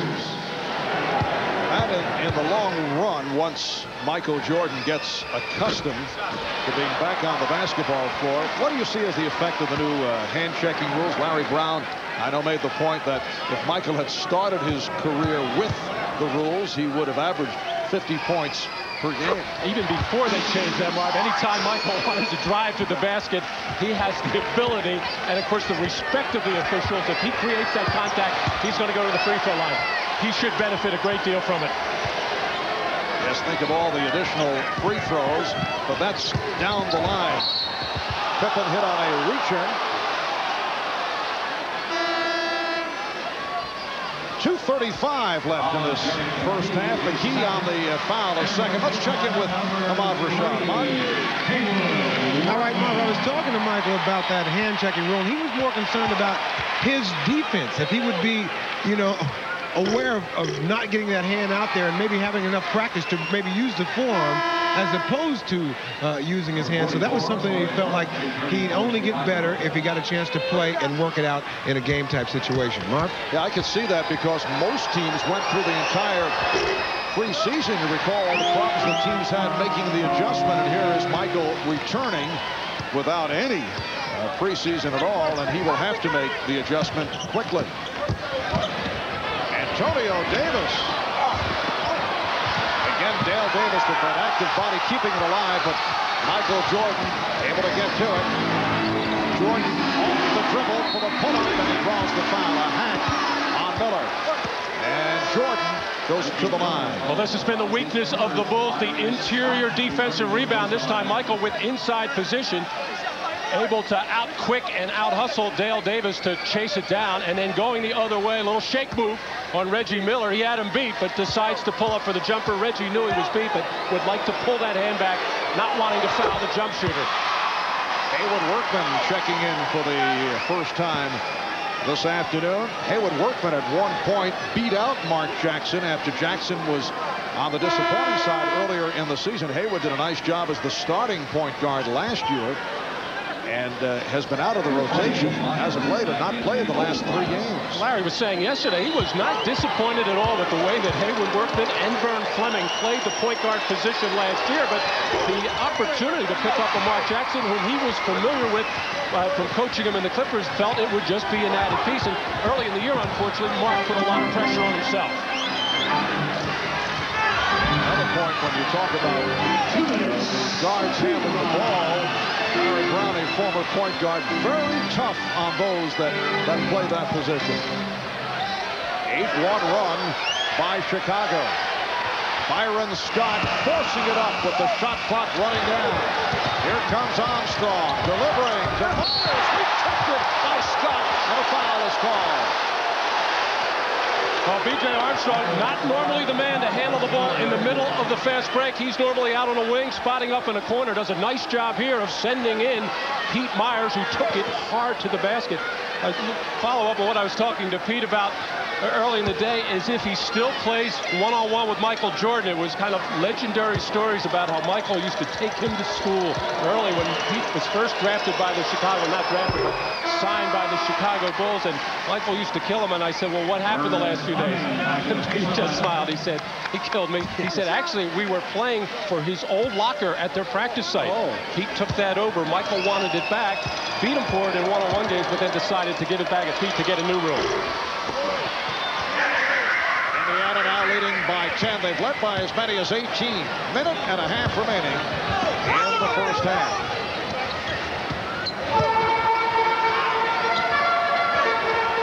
Workman made by Armstrong. Workman with the step. Rebound, Dale Davis. He has been the story in the first half. Seven points, and 14 rebounds for Dale Davis. Well, Dale missed eight games with those shoulder problems. We say he's back, but he's really not back at 100%, but having an outstanding day. Michael Jordan. And Indiana now leads 45 to 35. So Jordan with a second field goal. He's two of eight. He has seven points. 50 seconds left in the half. Foul is called on Myers. Michael's starting to warm up right now, feeling a little bit better that he's knocked a couple of shots down and a couple of free throws, taking it hard to his left and getting in the air quickly over Reggie Miller. Not that Reggie could do that much about it, but Reggie finds himself back at the free throw line. One of the more frequent visitors for a guard. Shoots about between six and seven a game. Reggie now three of three in the first half from the foul line. He has 14 points in all. Toni Kukoc is back, replacing Corie Blount. Toni Kukoc not able to get off. He's had two excellent shooting games against the, uh, the Pacers. Toni Kukoc with an 11 for 15 and an 11 for 19 in the, the two previous games. 45 seconds to go in the half, and it's Indiana by 12. Kukoc from Pippen, and for Toni, that is his first field goal. Indiana by 10. Here's some pressure being shown by Chicago.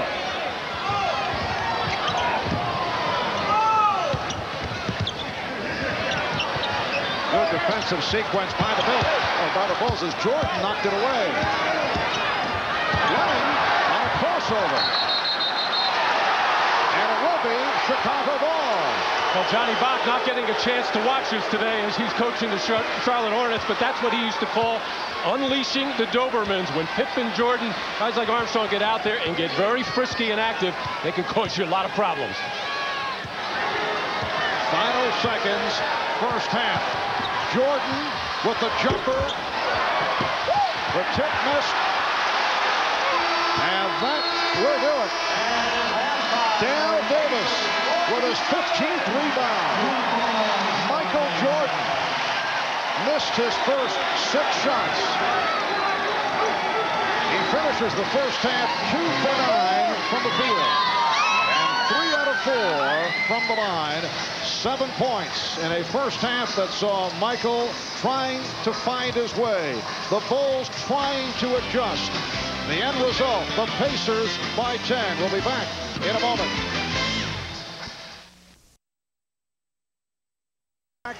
Back of the court for the second half. Indiana with the 10-point lead on Chicago. Marv Albert along with uh, Matt Guokas. Jordan in the first half, 19 minutes, 2 of 9 from the field. And the Bulls looking very tentative in that first half. They've been watching him a little bit, but the toughest part for Michael over the next four or five games will be trying to establish his own game and blending in with his teammates who have been battling together for six months. It's going to be a tough task. He's the man that can do it, though. Well, let's take a look at the Miller Lite halftime statistics. Overall, the Bulls only 11 for 33. 33% shooting. The Pacers 17 of 39 from the field. There you see the stat line on, on Jordan. 2 of 9 from the floor. 3 of 4 from the foul line. And this, uh, the big number. Pacers out rebounding the Bulls 30 to 13. Dale Davis with 15 rebounds in the first half. His career high accomplished on two occasions, 22 15 in the first half. We'll be back with the second half from Market Square right after this. To the start of play in the third quarter, Indiana with a 47-37 lead on Chicago. Pacers have led all the way, and they have led by as many as 18. A look at the leading scorers. Scottie Pippen with 13. B.J. Armstrong, who's hit the uh, three-pointer. He's hit three from downtown. He has 11. Michael Jordan with seven points. While the Indiana Pacers with one man in double figures. Reggie Miller, four of nine from the field, three of seven from beyond the three-point line with 15 points, eight apiece for Smits and McKey, seven for Dale Davis along with 15 boards. And the numbers on on Michael Jordan, 19 minutes in the first half. Two of nine from the field, three of four from the line, two rebounds, an assist, and a steal. Matt, to uh, give you perspective on uh, Michael Jordan looking back on his illustrious career, he has scored in double figures in 666 of his 667 career games. His lowest point total ever, March the 22nd, 1986, when he scored only eight points in a game against the Cavaliers in Cleveland. Well, with his team struggling right now, Michael realizes more than anybody the importance of defense and how it will win you games.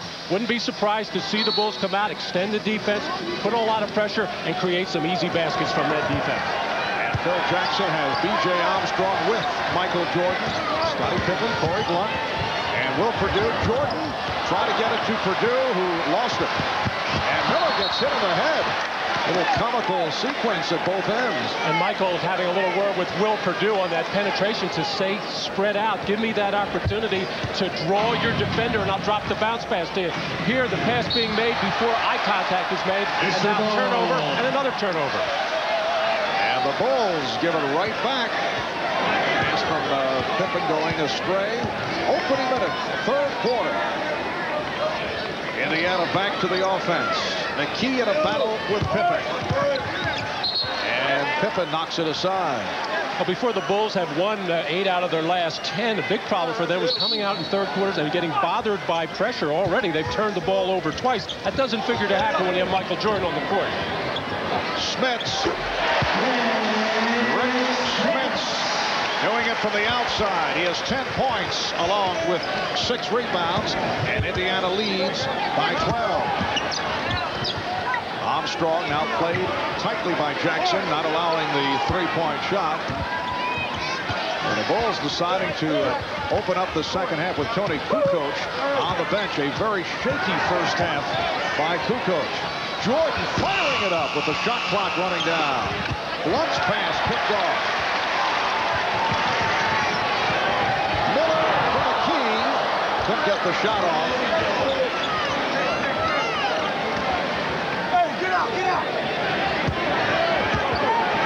Key isolated against Armstrong. Gets it inside. And the foul oh, down Davis held by Corie Blount. Scottie Pippen trying to make things happen to see if he can't get Michael Jordan going here with a little high screen. And just again, the unfamiliarity, even though these two have communicated on a lot of good basketball plays over the years, just not in sync today. Dale Davis in his fourth year out of Clemson led the ACC in rebounding. three straight years. Last season, averaged just under 12 points per game. Did that with limited range, but uh, he is on the floor to get the ball, to do it off the boards, and that has certainly been the case here this afternoon. 13-point lead for Indiana. Reggie Miller doing a good job in fronting Michael Jordan. Scottie Pippen hits the three. Oh, Scottie Pippen. That's his first from downtown. 16 for Pippen. And the Pacers lead by 10. Chicago Bulls come in with a record of 34 and 31. They've won three in a row, eight of the last 10. Blount on the rebound. Pippen for Armstrong. B.J. Armstrong. And it's down to an eight-point Indiana lead.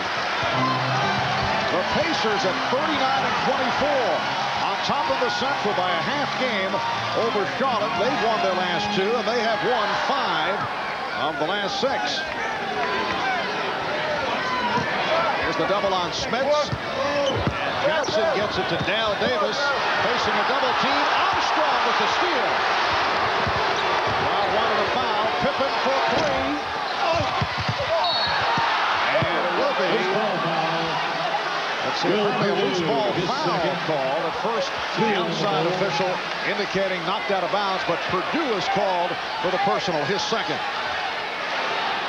Well, B.J. Armstrong digging inside to knock this ball loose. Also looked like he got a part of the arm of Dale Davis as he would not have mind putting him on the line, but starting the fast break, he got that ball back to score his 13th point.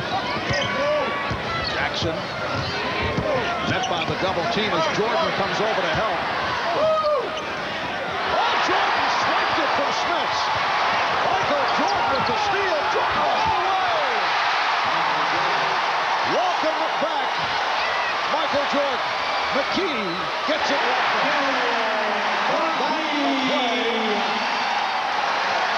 Out of the uh, Michael Jordan highlight package that we've seen time and time again over his career, the steal and then the drive for the bucket. Jordan lost it. Jackson with the steal. Miller with Pippen back, and Pippen with the foul. Oh, and Scottie Pippen with a shove of Reggie Miller. Good job of Scottie Pippen to hustle back and try to block that shot. Did get a piece of the ball, also got a piece of Reggie Miller, and then they got tangled up and then a little extra shove. Watch it again. And watch the little extra shove with the left arm by Scottie Pippen after they come down here. And you see the left arm and the push to the back, and we will have a technical foul. Technical foul assessed on Pippen. Miller will shoot the technical. Indiana 53, Chicago 44. 8.24 remaining in this third quarter. Once again, we'd uh, like to welcome those who've been watching Utah and Charlotte. Marv Albert with Matt Guokas and Bob Rashad from Market Square Arena. Reggie Miller extending to a 10-point Pacer lead. Well, we talked earlier in the ballgame that Phil Jackson mentioned that it probably wouldn't be too long before he'd think about making a change in the starting lineup. Nothing against Toni Kukoc, but now with Michael Jordan back, it changes things. So what they need in there is a bigger body, somebody to bang around inside, box out, get some rebounds, play some defense, and Corie Blount getting the call here in the third quarter. You don't need all of your best offensive players on the floor at the start of the game or the start of the third quarter.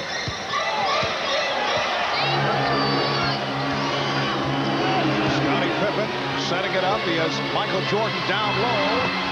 Miller got a piece of it. Recovered by Perdue. Jackson leads a three-on-one. Here's Jackson. And the Indiana Pacers starting to take advantage of every Chicago Bull mistake. Whether it's a block shot, a ball knocked loose, they are just flat out whipping the Bulls down at the other end of the floor.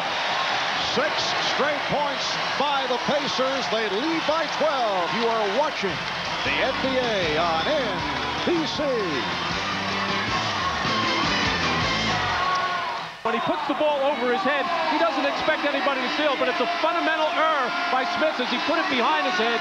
The lightning quick hands of Michael Jordan to strip it and finish the play off at the other end. Reggie Miller thought about stepping up and trying to take the charge. It looked like Michael was ready to jump over him if he had it. As we said starting this third quarter, that Michael realizes things are just not very smooth at the offensive end in their half-court sets, so they got to make it happen at the defensive end. 12-point Indiana lead. Let's go over to Ahmad Rashad. All right, Marv, thanks. I talked to Michael at halftime, and he was telling me that he indeed had butterflies when the game started, but he was trying to adjust himself to the pace of the game. That's pretty much took him out of it physically. He also said the offense was out of sync because you have to realize he hadn't played with these players quite in a long time. He was trying to familiarize himself with the players on the floor. Marv? All right, Ahmad, and that is a goaltending call, so Jordan gets credit, and he has hit double figures. 11 points for Michael. He is now 4 for 13 from the field. Pacers 56 and the Bulls 46. Jackson and Miller in the backcourt. McKey, Smits, and Dale Davis up front. Shot clock is down to six. Jackson gets it inside to McKey and a foul call. Well, Mark Jackson realized how lucky he was to get that pass through there. He threw it. He almost wanted to pull it back as Scottie Pippen was in the lane, but he had his back turned. That ball able to snake through to Derrick McKey, who's been a little bit more aggressive offensively, as Michael Jordan is saying to Scottie, keep your eye on the ball. You would have had a steal, partner. Foul was called on Wennington. The Bulls to this point getting very little out of the center position. Perdue is 0 for 3. Wennington has not taken a shot. Longley 0 for 2. And Toni Kukoc only 1 for 5 from the field. Has not played in this third quarter. Corie Blount starting the third. Here's Will Perdue. It will count and the foul. And Will getting a little encouragement this time from Michael Jordan. The last time Will took the ball to basket, he just put up a little flipper and not very strong this time. Still not able to finish hard at the rim and, and stuff the ball in there, but doing his best. Got fouled on the play. Michael Jordan trying to encourage Will Perdue, who's doing a good job at the defensive end on Rik Smits before Rik gets the ball. Smits does have 10 points, but so far, good defense by Big Will. And the foul on Smits, who picked up his third. Indiana 58 and Chicago 49. Five minutes in, third quarter. Quick release by Reggie Miller. 19 for Reggie. Pacers 60 and the Bulls 49. Wennington setting the pick. Jordan sweeping by but went off the back rim. Recovered by Dale Davis as Rik Smits hit the deck.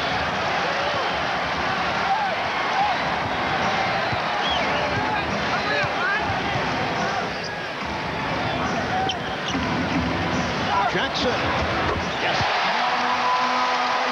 Well, the Pacers responding to the double team as Mark Jackson was wide open. Jackson with the steal. Jackson behind the back he will start it all over again. Good job by the point guard, Mark Jackson, exploring the fast break, not there. The knowledgeable Indiana fans appreciating that kind of small nuance in half-court basketball. Fast break not there, pull it back out, set something up. Shot clock down to three. McKey. Indiana with a 15-point lead. Derrick McKey with 14 points.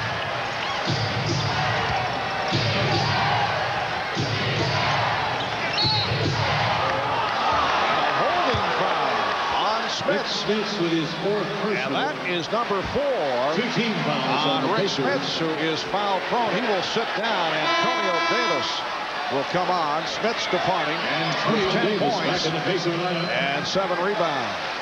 The Bulls have been tentative with some of their passes as Michael will go to the bench for a rest, replaced by Pete Myers and Toni Kukoc coming in for Will Perdue. And right before that, they the Bulls have brought in Phil Wennington to replace Corie Blount to put him in that big forward spot as Phil is trying to keep a couple of extra big bodies in there against the outstanding rebounding of the Indiana Pacers. And Indiana has come out shooting well in the third quarter, six of seven from the field. Bulls have hit five of ten. Oh, Armstrong nearly had nowhere to go.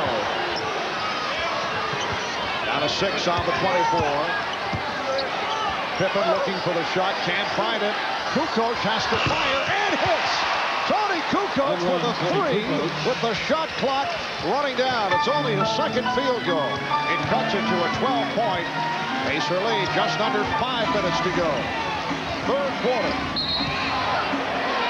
Call away from the ball. Pete Meyer is holding Reggie Miller. Well, Toni Kukoc had been trying to post up Dale Davis. He would have much more success by taking him away from the basket and possibly driving on him. He had to launch this three to beat the shot clock, but Toni Kukoc has been silent so far as he seems a little bit mesmerized with the whole situation. Well, you can understand that uh, he might have come in with the same butterflies that Michael Jordan mentioned uh, to Ahmad Rashad. Michael Jordan has uh, talk of the emotional response of Toni Kukoc when Toni had signed with the Bulls, felt that he was going to join a Chicago team that had Michael Jordan as his teammate, and then Jordan announced his retirement. And, and uh, Michael said he, he, he couldn't believe how, how emotional Kukoc uh, reacted. He was so disappointed that he, had wanted to play with Michael. So uh, these are big moments uh, for the second-year player out of Croatia. And some of his comments over the last couple of weeks where he did not want to get his hopes up because he did not want to possibly get disappointed again if Michael, Michael had made the other decision. Shot clock at five. They double up on Pippen. Kukoc checking the clock, gets it off. And it's an air ball, so a 24-second violation. Well, Toni Kukoc is a good post player against smaller players, but when he's being guarded by a Derrick McKey, who's really a small forward, but a 6'11 small forward, or one of the Davis, he's better at taking the ball out about 17, 18 feet, facing up and trying to drive into a seam. Reggie Miller isolated against Pete Myers. Myers got picked off. Miller not able to hit the three. Indiana responding, getting back. Pippen. Yes, nice move by Scottie Pippen, although the Pacers were able to get back. Chicago was trying to break, and then Pippen cut it to a 12-point Indiana advantage. Jackson, the one-time New York Knick, one-time Los Angeles Clippers, had a solid game. They double up on McKey. Mitchell. Sam Mitchell extends to a 14-point lead. Now, McKey is a tough cover for Scottie Pippen inside. He has a little bit of a height advantage, can shoot over, and that's why the double team came. And McKey smartly got the ball outside to the open Mitchell. Armstrong beating Jackson oh. with the dribble, and it's Wennington with the slam. Uh, Bill does that about four or five times a year. When he does it in either old Chicago Stadium, which is no longer, or the new United Center, the crowd goes wild. He just takes a gamble, takes a run at it, and finishes off the play. Indiana with a 12-point lead. We come up on three minutes left in the third. Strong move by Antonio Davis, who also paid for it, and he was fouled, took a shot in the head. Well, a running start by Bill Wennington out from about the right elbow area, guessing just right, and the ball coming right off the rim, right where he is able to finish and tomahawk it through. Wennington called for the foul, sending Davis to the line. A hand for Reggie Miller sitting down. He'll get a rest, leads with 21 points. Antonio Davis at the free throw line in his second year out of Texas. El Paso, a second-round draft pick back in 1990. Played in Europe for three years, in Italy and Greece, before signing on with Indiana. Michael Jordan now returning. So Michael's certainly getting the playing time. Opened up with nine minutes in the first quarter. Saw considerable action in the second. 19 minutes and all for the half. 28 minutes thus far for Jordan. He's beginning to show some signs. Doing it off the dribble here against Byron Scott. Faced the double team, got it out to Myers. Pete Myers. Pacers 69, the Bulls 58. It actually turned into a little bit of a triple team, which really opened up the lane for Myers, who made a nice move going to his left. Now Jordan defensively facing Fleming. Fleming and Scott now in the backcourt. Last touch by Pippen with 11 on the 24. And a timeout being called by Larry Brown. 2.35 remaining in the third. You're watching the NBA on NBC. Championship in 91, 1992, the Bulls knocking off Portland in Chicago for a, a second title and then a third straight defeating Charles Barkley in the and the Phoenix Suns in six games. That 1993 NBA championship squad host of familiar names and a host of changes have been made. As you can see, that group no longer with the Bulls. Only Armstrong, Pippen, and Perdue remain, along with Michael Jordan. Revamped franchise. Back at last year, was truly amazing the job that Phil Jackson and the Bulls did. That's a 24-second violation. Chicago finishing a surprising 55 and 27, second in the Central. Only two games back in that first season without Michael Jordan. They were third overall in the East, and then in the playoffs, they swept Cleveland. And in the Eastern Conference semifinals, lost in a grueling series to the Knicks in seven games. Kukoc trying to shake off Mitchell. Draws the foul. Sam Mitchell picking up his second personal. And Indiana last year with a 47 and 35 record. A strong finish, and they did the job in the playoffs. They swept Orlando in the first round, beat Atlanta in six, and they went to seven against the Knicks. Jordan firing the three. And a loose ball foul is called again against Mitchell. Well, once Michael gets familiar with the new three-point line, I'm sure he's going to be a much better three-point shooter. If you remember a couple years in their career, he worked hard in the offseason, came back, improved his three-point shooting, but he is still suffering from the rust, and the shooting is suffering most right now. Jordan is now four for 15. Myers posting up on Fleming. Kukoc with the fake. Shot clock at eight. Jordan for Kukoc. Yes! Michael Jordan with the feed for Toni Kukoc to bring the Bulls within nine. A minute 35 left in the third quarter. Kukoc on the steal. Try to save it. Lands in the uh, in the Chicago front court, but handled by Fleming. Well, Michael was zigging when he probably should have been zagging, but that pass thrown behind him to spoil a chance for a Chicago fast break and a thunderous Jordan finish. Fleming has been getting the playing time coming on as a as a third guard very much into the rotation. Here's Jordan spinning his way, getting it up for Pippen, and he draws the foul. Well, the last two times Michael Jordan has had the ball in the offensive end, he has become a penetrator. He is, in fact, the point guard right now. Being guarded by Byron Scott. Beats him on the penetration. Finds Toni Kukoc coming in along the baseline. Excellent penetration, drawing the defense, and Michael knows that he is drawing it and can find open people as Scottie Pippen able to get to the free throw line. Like to welcome those of you who have been watching Charlotte and Utah. Charlotte with a 100 to 92 lead in the final minutes of the fourth quarter. Here at Market Square, it's the Pacers 71 and the Bulls 61 with less than a minute to go in the third. Marv Albert with Matt Guokas, Ahmad Rashad, Bob Costas, Michael Jordan to this point. 4 of 15, 11 points, 3 assists. Chicago in a two for one situation with 40 seconds to go in this third quarter. Look for a quick shot coming. Kukoc spinning his way. And back comes McKey. Down to 25 seconds to go in the third. Well, they got the quick shot, but not a good one. Off the trap foul call.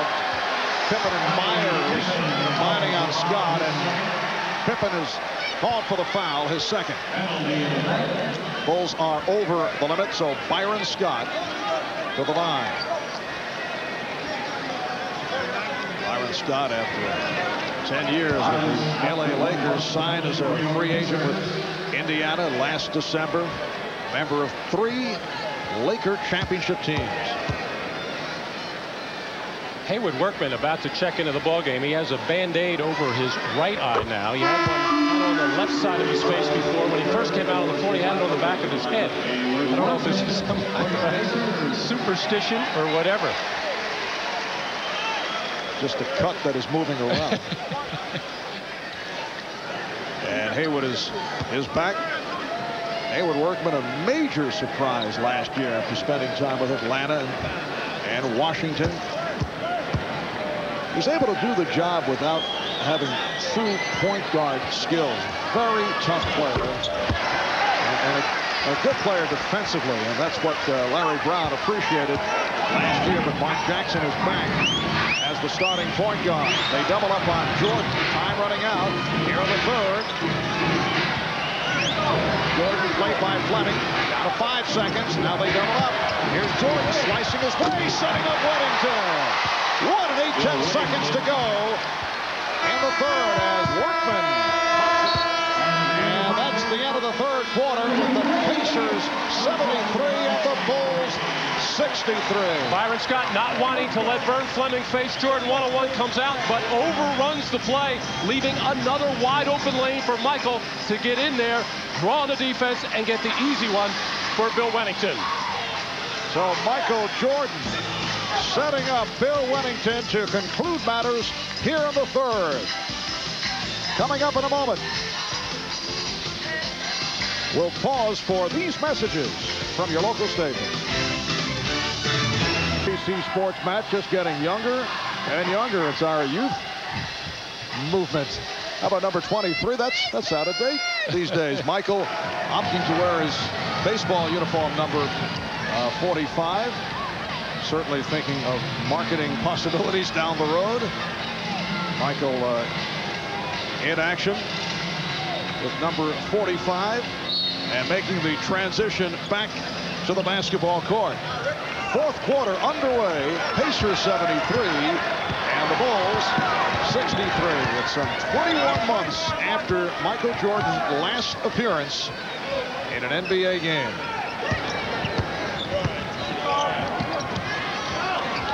Michael opening up this fourth quarter guarding Vern Fleming. Antonio Davis. And last touch by the Bulls. But meanwhile, despite the fact that this has not been an effective game for the Bulls, they are hanging around, down by only 10 as this fourth quarter gets started. Mainly because their defense was much more aggressive in the third quarter. They shot the ball better, but the reason why they're still down 10 is the six turnovers that they had in that third quarter. And the whistle away from the ball is against Indiana. Byron Scott called for the, the offensive foul. At one point, Indiana led by as many as 18. Pacers with a, a good shooting third quarter, 8 for 10 overall in the third. Michael there setting up Steve Kerr coming off a stagger, but good defense by the Pacers shut it off, and a nice move inside by big Luke Longley. Eight-point Indiana lead. Reggie Miller getting set to check back in. Fleming and Scott on the backcourt. Smits playing with four fouls up front with McKey and Antonio Davis. Not a good shot by Smits. Here's Jordan putting the move on. And Michael looking over to the official on the baseline, trying to figure out why he didn't get a foul call there. He initiated the contact into Smits. Smits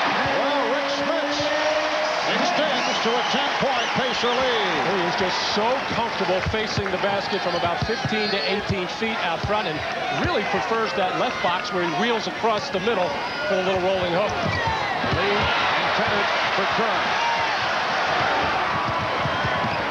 Fleming for Davis.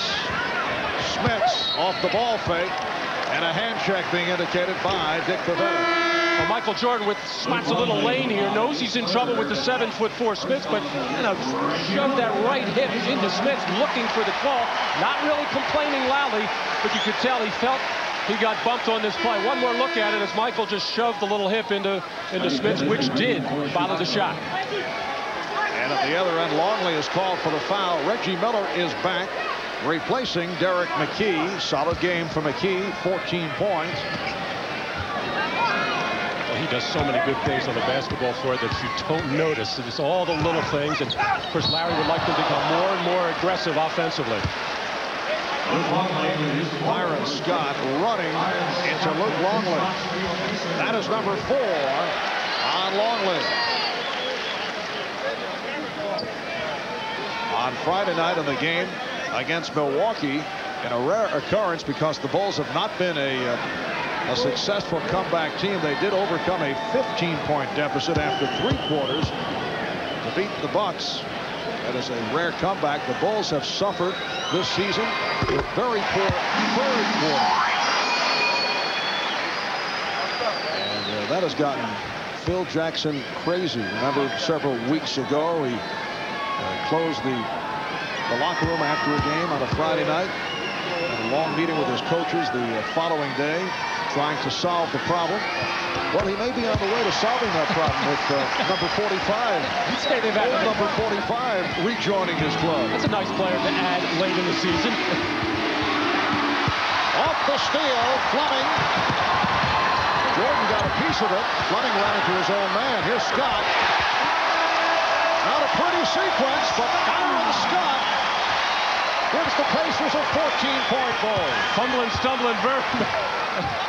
Did a good job, Vern Fleming, of finally corralling that thing and getting it to the open man. Pippen backing his way.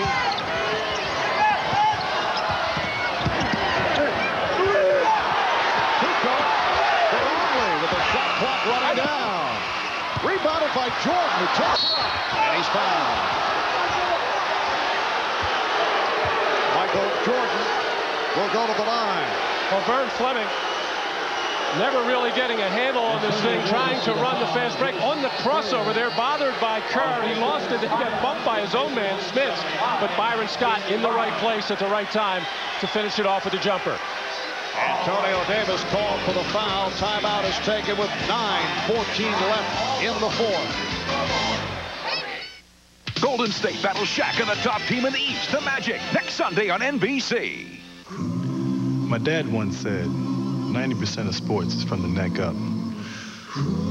Experience tells me he was right. They say only the strong survive. Experience tells me it's true. Now, I know I'm just a rookie, but I see what it takes to succeed. Hard work, strength, experience. You never know when you'll come face to face with a regular-looking phone wired to a no-name company. Will you and your card be rejected? We're sorry. Will your call cost a lot more than you think? How can you be sure you'll get AT&T and get through at a good price? Know the code. Dial 1-800-CALL-ATT. For card calls, you'll always get AT&T's best deal if you know the code. Dial 1-800-C-A-L-L-A-T-T. And you'll never worry about no-name phone company charges again. Your true voice. Hello from Plank Road, where our man Paul has some visitors, the Plank Road Polar Bears. Each year, the polar bears seek ultimate refreshment by throwing themselves into icy cold waters. We suggest an alternative. Ice Brewed Ice House. Ice brewed so there's never any watered down taste, just more of what you want in a beer. Ice Brewed Ice House. Icy smooth refreshment without the annoying frostbite. Thanks and enjoy. Miller Genuine Draft presents Genuine Moments. Today's Miller Genuine Draft Genuine Moment goes back to April 12, 1987. The Bulls versus the Pacers, and a fellow by the name of Michael Jordan had an enormous game. 53 points for Michael, the most points ever scored by a Chicago Bull against the Indiana Pacers, and just two off the single game scoring mark against Indiana, which is 55 points scored by the Spurs' George Gervin in 1980. That is the stat line today for Michael Jordan. Only 4 of 16 from the field. He is headed to the free throw line. In recognition of that moment, Miller Genuine Draft will donate $1,000 to the Thurgood Marshall Scholarship Fund. Jordan, three of four from the free throw line. Of course, Michael has had unparalleled history measured with the uh, record-tying seven straight scoring titles. David Robinson winning it last year. Three most valuable player awards, seven first-team All-NBA mentions, six All-Defensive Team awards. The Bulls hanging around in this one have been down 10-12. They know they have to get it around 10 or 8 under six minutes. Again, trying to make something happen with that defense after the free throw, but not having a player like Horace Grant who really sets the tone with that pressure in the backcourt, really hurting the Bulls. Byron Scott. Three of five, 12 points for Scott. Indiana leading 81-67. Jordan working off the pick. Rebound, Jordan. Try to alter the shot with Smits right there. Here's a three-on-one. Miller pulls up for three. Uh, Reggie going for the kill there right now, leading by 14, trying to put this thing away, or at least at, th at this particular juncture with that pull-up jumper on the fast break from beyond the arc. Kukoc passed the open shot, and then a bad pass. Miller on the run. Delivers to Leonard. And you can get it in twos as well. Normally, Reggie Miller on the catching end of those kind of plays shows that he is unselfish, wants to get his teammates involved most of the time. Indiana by 16 points. Kerr for three. Kerr with the straightaway three-pointer. That is his first of the day, and the Pacers lead 83-70. And Michael Jordan walking back on defense, looking over to Phil Jackson, pointing to himself, needing a breather at this particular juncture. He has played 33 minutes. Seven and a half to go in the fourth. Here's Scott. Offensive foul.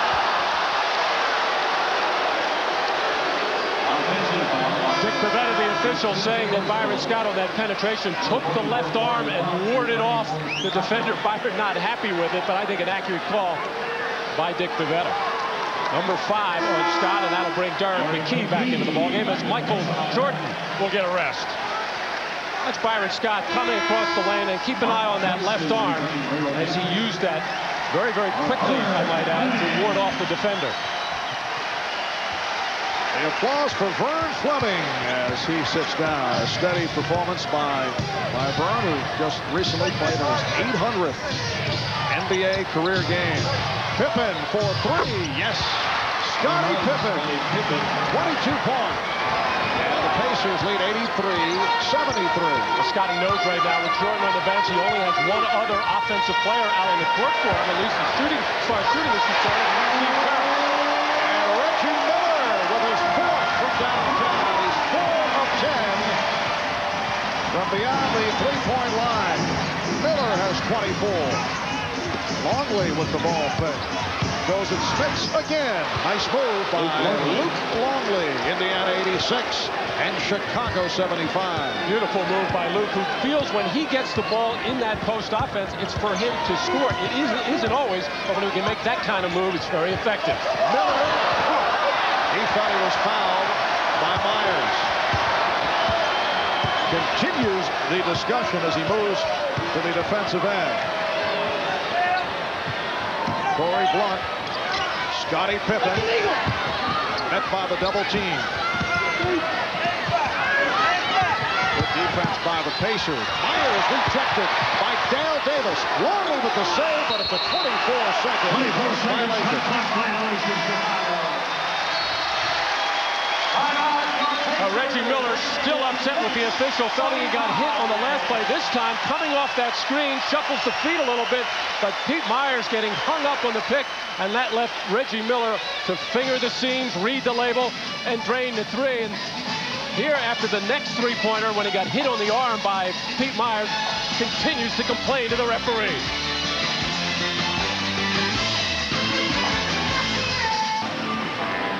Welcome back to Market Square Arena where the Indiana Pacers lead the Chicago Bulls 86-75 with six minutes and two seconds remaining in the fourth quarter. We'd like to welcome those of you who have been watching Utah and Charlotte and the Hornets over the Jazz 108 to 104 and the Charlotte Hornets now show a record of 40 up and 25 down, so they are in a virtual tie for the Central Division lead with the 39 and 24 of Indiana Pacers. The Hornets stopping a three-game losing streak. Utah losing on the road, which is unusual. They now 23 and 11 on the road. They still lead the Midwest. Now by two games in front of San Antonio. Shot clock is down to two as McKey comes up short. And it is a 24-second violation. The stat line on Michael Jordan, who has just checked back in, he has played 33 minutes.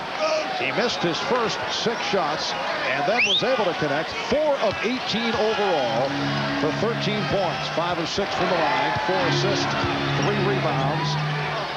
Certainly in a process of adjustment. Looking a bit rusty. On the other hand, we have seen some terrific flashes. Oh!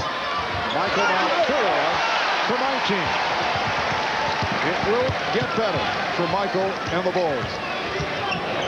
Well, the defense of the second half of the Chicago Bulls much, much better. In fact, the Indiana Pacers have no second chance points. So the, the move of starting Corie Blount playing Bill Wennington a little at the big forward spot has worked for Chicago, at least defensively, here in the second half. A show the ball move by Jordan. Now guarded by McKey. Longley off the nice entry pass from Jordan. A terrific, and Michael, I appreciated that move by Longley to keep moving and then stop dead in the lane with the defender on his back. That's why he got such good position. Pacers 86 and the Bulls 77. McKey went underneath the hoop. Armstrong has a three on two. Pacers able to hustle back. Pippen. Oh, Scottie Pippen driving the lane. And it's down to a seven-point Pacer lead. Hanging around, just hanging around, and that's dangerous when you have number 45 on the floor. 6-0 run by Chicago. Miller, yes! That's a two-pointer. The quick release of Reggie Miller extends to an 88-79 Indiana lead. 26 points for Miller.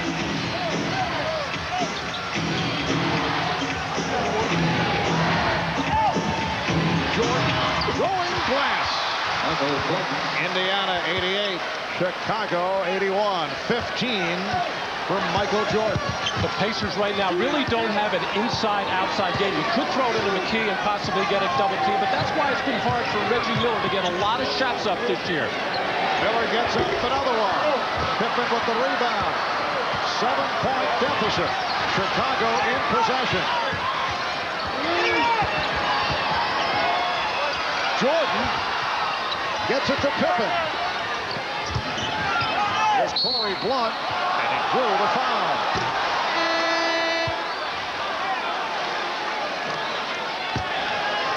Reggie Miller has to depend on baseline screens like that to get open shots. He also has to get kickouts from penetration. But Michael Jordan, hard drive off the dribble to take it to the open spot, get in the air quickly, and nicely using glass. Non-shooting foul on Antonio Davis, who departs, replaced by Dale Davis.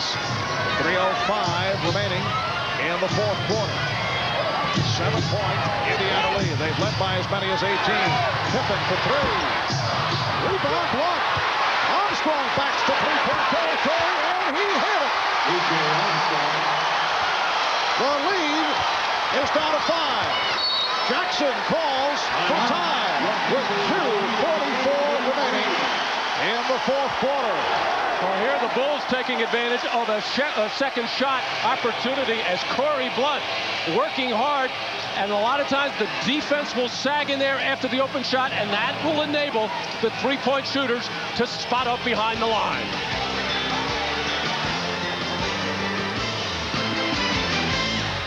hoping for a three-pointer as Corie Blount will kick out to B.J. Armstrong, but keep an eye on B.J.'s right foot, right on the line as he releases that shot. Michael trying to get the three, but it was ruled a two-point shot. Five-point lead for Indiana. 2.44 remaining. In this fourth quarter, 16-5 run by Chicago. Four minutes into this fourth quarter, the Pacers were up by 16, so the Bulls trying to make it another good run as they did on Friday night.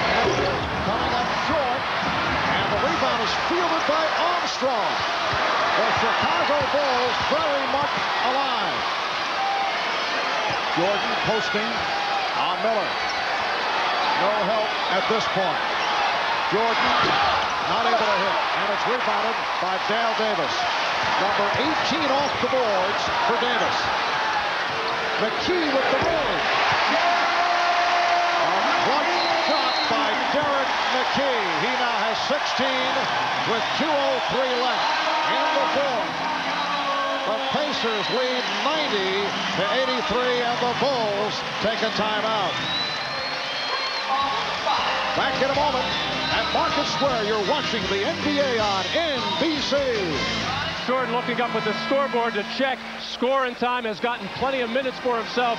A little rusty from the field, or we should say very rusty, at just 5 for 21. Not taking advantage of a possible hand check here.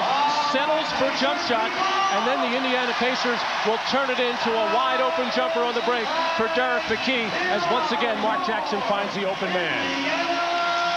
Well, let's see, Matt. Wearing number 45, Michael Jordan, 5 for 21, only a 24% shooter. Looking back at his career, wearing number 23 was a 52% shooter. You think they'll stop making all those shirts now? Yes. no. I didn't think so. Timeout rundown. Chicago 3 and a 20. Indiana 2 and a 20. The Bulls in possession. Just under two minutes. Remaining on the fourth. Jordan swinging for the jumper. Rebound the floor and drew the foul. You know, when Michael looks at the tape of this, he's going to see that a lot of the moves were there, a lot of the quickness, the good, sharp ball handling. Just a lot of shots early in this ball game did not fall, which I think started to make him think. Here's a typical Michael Jordan move. Good defense by Reggie Miller to turn him away. Michael hanging in the air. Just cannot get these shots to drop. Luke Longley missing on his first free throw. An 82% free throw shooter. Bulls 16 of 24 at the line. Pacers 90 and the Bulls 84. I'm talking to Chicago players. Jordan with the steal. Michael Jordan going. Oh, he dumped it off the block and it drew the foul. Looked like he would challenge Smits.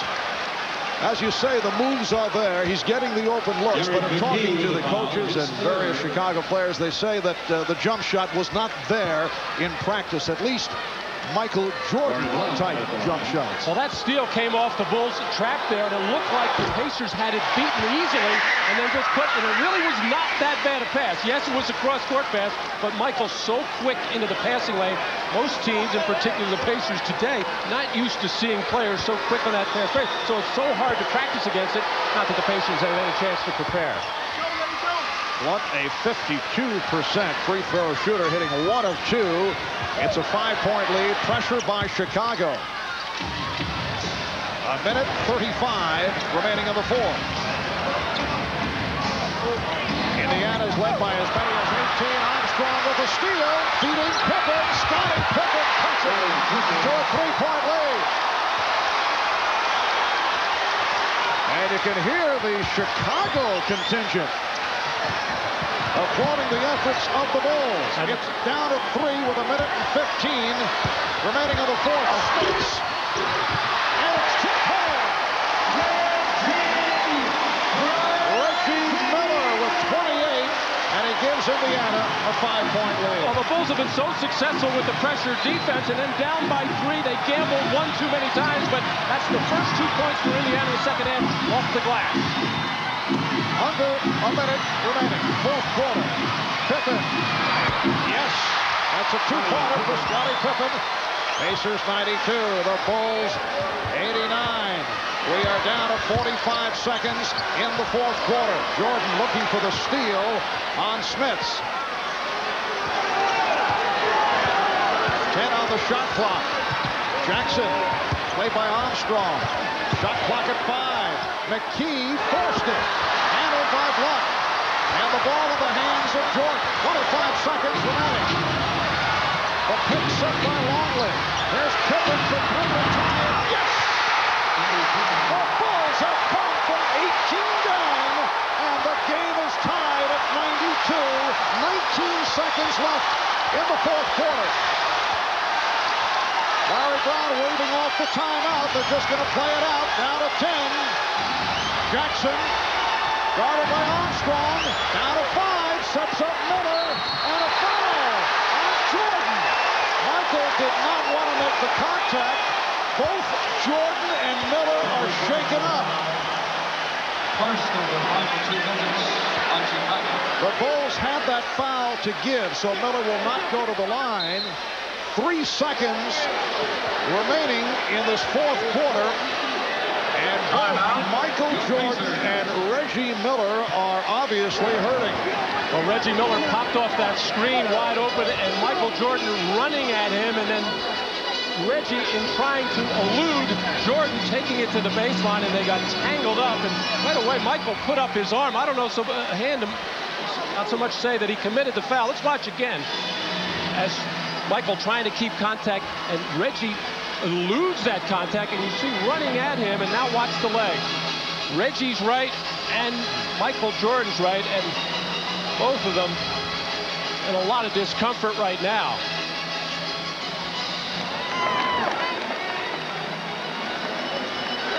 A bizarre conclusion with the Chicago Bulls coming from behind on a 25 to 9 run. And the two marquee players, Michael Jordan, Reggie Miller, end up on the floor. We'll be right back. Ahmad Rashad back at Market Square Arena, and on that last collision between Reggie Miller and Michael Jordan, where their legs sort of collided, Michael Jordan came out of this with a cramp. That was uh, his problem, and Reggie Miller almost a, a bruise. Their legs hit together, and Reggie Miller, both of them appear to be all right. Reggie's still hobbling just a little bit. So it remains to be seen if Reggie Miller will still be in the game. Michael Jordan, as I said before, just suffering a cramp. Mark? Ahmad, we're down to three seconds remaining in regulation.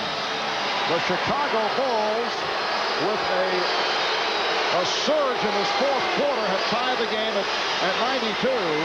That's the timeout rundown. Bulls, three full timeouts plus a 20. The Pacers, one plus a 20. And the Bulls have a delay of game to try to find out what the play was. With They found out a little bit about where Mark Jackson was going. Of course, the number one option here would be Byron Scott, their best perimeter shooter. And now a 20-second timeout is taken by Larry Brown. So he'll want to make an adjustment. in the Indiana down to one full timeout. Reggie Miller remaining on the Indiana bench. Michael Jordan staying on the Chicago bench. A 25 to 9 run over the last seven and a half minutes by the Bulls. For the second straight game, they come from way back. Great sign for Phil Jackson and the Bulls. And you can see things building as Michael Jordan is finding a rhythm, as we have been discussing, not able to hit his shots, but certainly getting the good looks and certainly instrumental in the Chicago comeback. And the Bulls did it with their defense and keeping Indiana off the glass and making some timely jumpers, in particular uh, B.J. Armstrong and Scottie Pippen with the major three there. Now, a guy to keep your eye on here is Rik Smits after a pick is set because he presents a big target, can catch, and then make another move to score. McKey throwing in for Jackson. Back to McKey for the shot, and we go to overtime. The Chicago Bulls and the Indiana Pacers head to an overtime session at Market Square. The Bulls 92 and the Pacers 92. Back in a moment. Indianapolis on a day that saw Michael Jordan make his return. Turns out to be a good ball game, tied at uh, 92 as we head to overtime. And the word on Reggie Miller, Ahmad uh, Rashad, uh, passing on to us that uh, he is through uh, for the game, suffering a right thigh contusion. And the Pacers became very perimeter oriented in the last five, six minutes of the fourth quarter, and now they lose their best perimeter shooter. Rik Smits has to become the first option for the Pacers right now. And apparently Michael Jordan is all right. He is back on the floor. In the fourth quarter, though, it was Scottie Pippen with 12 of his 31, including a couple of big threes down the stretch to send this game into overtime. Indiana controlling the opening tip. Michael Jordan has played 39 minutes, 5 of 22 from the field. And a foul is called. Rik Smits on the uh, double team. Hit by Luke Longley. Well, they do go right into Rik Smits, and Longley does the smart thing. Takes away the middle from Smits, but commits the quick foul. Byron Scott facing a double team. They go right back to Smits, working against Longley. Shot clock at 10. Smits Rebound to a soaring Jordan. George now guarded by Scott.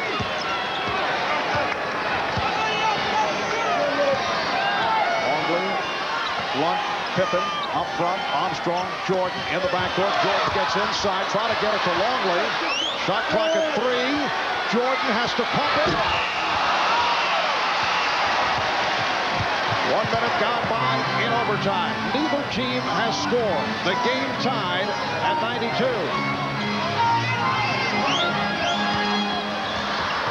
Dale Davis for Mark Jackson. Shot clock at six. Jackson. Jackson on the foul. Of people hit that. Mark Jackson will get credit for it. I think Corie Blount got a piece of it as well for one of the rare second shot opportunities for the Pacers in this second half in overtime. Blount keeping it alive, getting a new 24.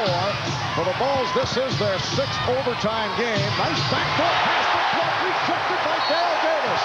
That's his fourth block. Oh, what a tough inside defender. Beautiful bounce pass from Luke Longley. And Corie Blount not able to take it to the rim strong enough, and that enabled Dale Davis to get back in there and slot it out. However, the Bulls do recapture the ball. Michael Jordan. Yes. Michael Jordan. And the game is tied at 94. 17 for Jordan. Chicago 1 and 4 in overtime games this season. Pacers have won two. They've lost one. Scott with the answer. Comes right back at Jordan. And the Pacers lead 96 to 94. Just under three minutes to go overtime. Well, the Bulls had a lot of success coming down the stretch, which is spreading the floor and creating that kind of penetration. Al Davis ripping it down. Rebound number 19 for Davis. Scott trying to get it to Smits. Oh, Michael Jordan popping out wide open for the jump shot and now starting to feel it with the familiar tongue starting to get out there. And the matchup, Jordan against Scott. Waves Longley over. Goes to the crossover. Changes his mind. Did not force it. Pippen. Air ball. Knocked out of bounds. Last touch by Smits.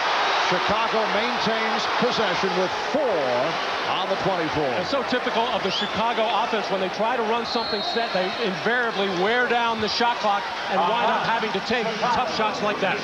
Timeout is being called. 2.14 left in overtime. The Pacers lead by two. Earlier, something about Willis Reed. Well, like Willis Reed in that uh, that game where he came out. Reggie Miller has just come out, talked to the trainer, and says that he wants to go back into the game. They're discussing it right now. As you can see, he has taken the ice off of his leg and has told the trainer he's prepared to go back and play. Mark?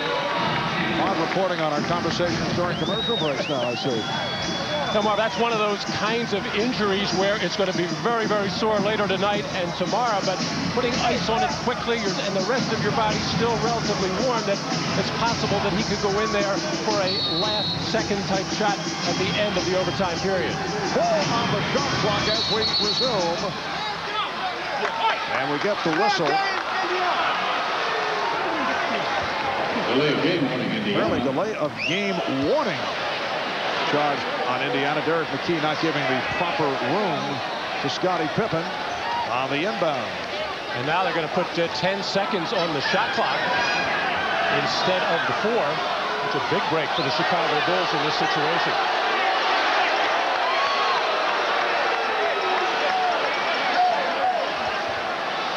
All being explained, Larry Brown begrudgingly accepting that there are now 10 seconds remaining on the 24.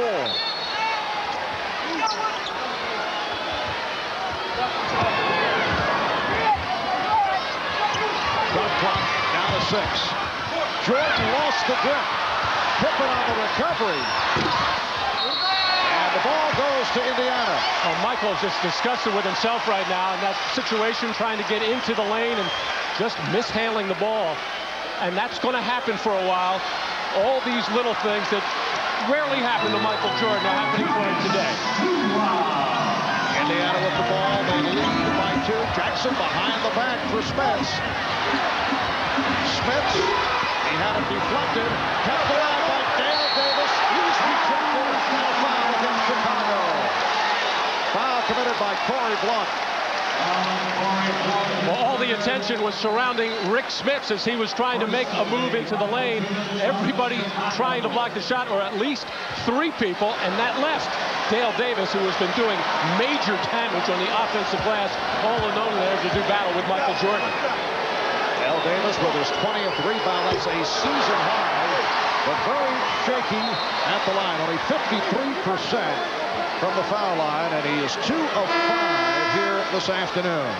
Now Steve Kerr checking back in, replacing Corie Blount. Phil Jackson looking for the offense. So Blount sits down, and Chicago with a combination now of Kerr, Armstrong, Jordan, Pippen, and Longley. And with both B.J. Armstrong and Steve Kerr out on the floor, spreading it, getting it out on the wings beyond that three-point line, gives more room for Scottie Pippen and Michael Jordan to operate by getting into the lane and creating something. Brown countering by bringing on Haywoode Workman, and Rik Smits sits down. Davis connecting on one of two. Indiana leads 97-94. A minute 45 remaining in overtime.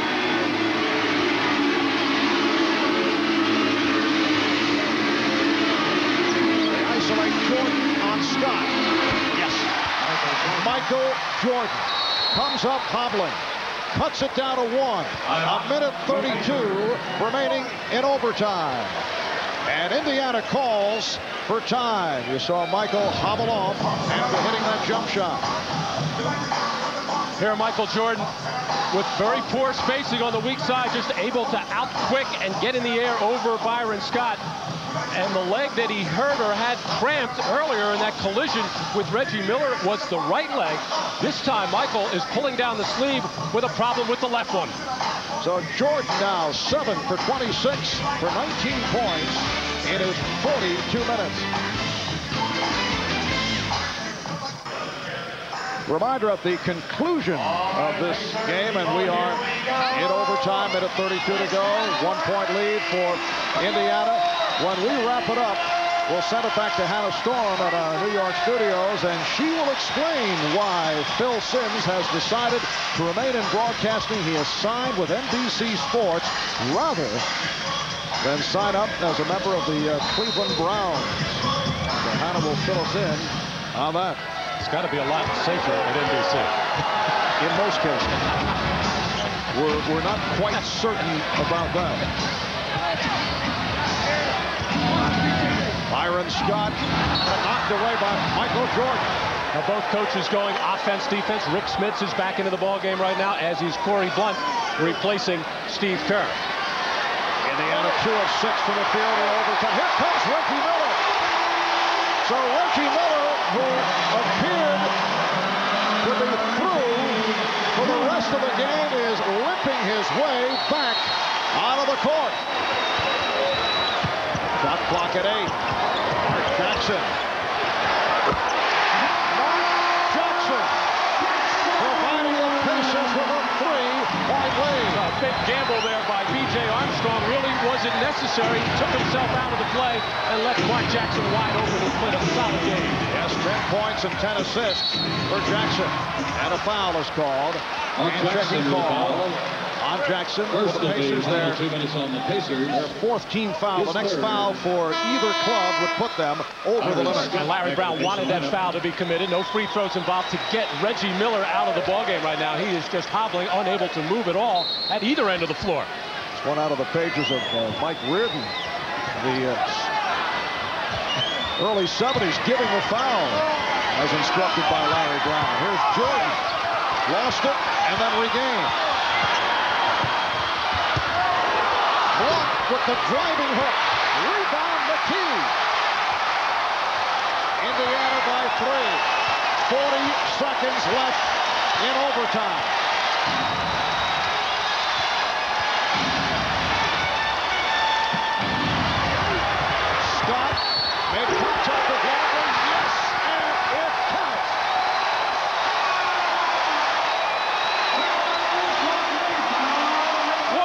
Terrific play by Byron Scott, knowing his his team needed a pick-me-up with Reggie Miller out of there. Just gave a little glance coming off that screen. Able to get inside Michael Jordan. Earlier, he got called for waving off with the left arm on a play like that. This time, he did initiate the contact, bumping into Luke Longley, but able to maintain some kind of composure and balance, not real good balance, to get that shot up and in. It has been an outstanding performance by the 33-year-old, soon to be 34, Byron Scott, who will go to the line. He's five of six at the line, 84% free throw shooter. Larry Brown of the Pacers reacting to the move by the veteran Byron Scott, who has 16 points. Well, the low post game of Rik Smits has been very quiet all afternoon, and the Pacers tell you what a good basketball team are. They have other ways to do it. They've done it a lot on the perimeter, although maybe a little bit too much, but they also have some people that can get into the lane and make something happen. Indiana by five, 29 seconds to go in overtime. Three-point play for Scott. Bulls will take a timeout. It's the Pacers 102, the Bulls 96. You're watching the NBA on NBC.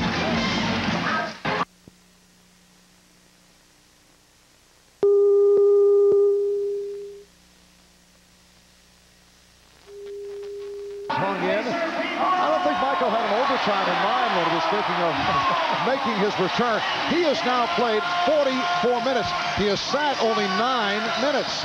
19 points, six rebounds, six assists, three steals. Only seven of 26 from the field. Well, Michael had the cramp earlier, then a little bit of a leg injury here. He has been the most resilient athlete, however, that I have ever seen. He'll be sore tomorrow, but he can bounce back. We apologize for the brief technical difficulty experienced. All is uh, back in working order. And Jordan goes off the mark. Pippen trying to keep it alive, and he did. Although Larry Brown is upset with the call. Last touch by the Pacers. It will be Chicago ball with 20 and 2 tenths seconds to go. It wasn't that Larry didn't have a good look at it. It was right in front of his nose as McKey and Pippen went for it, and it did appear that Scottie was the man that knocked it out. Shots for Jordan. That is number 28. Rejected by Davis. Block number five for Dale Davis. Final seconds.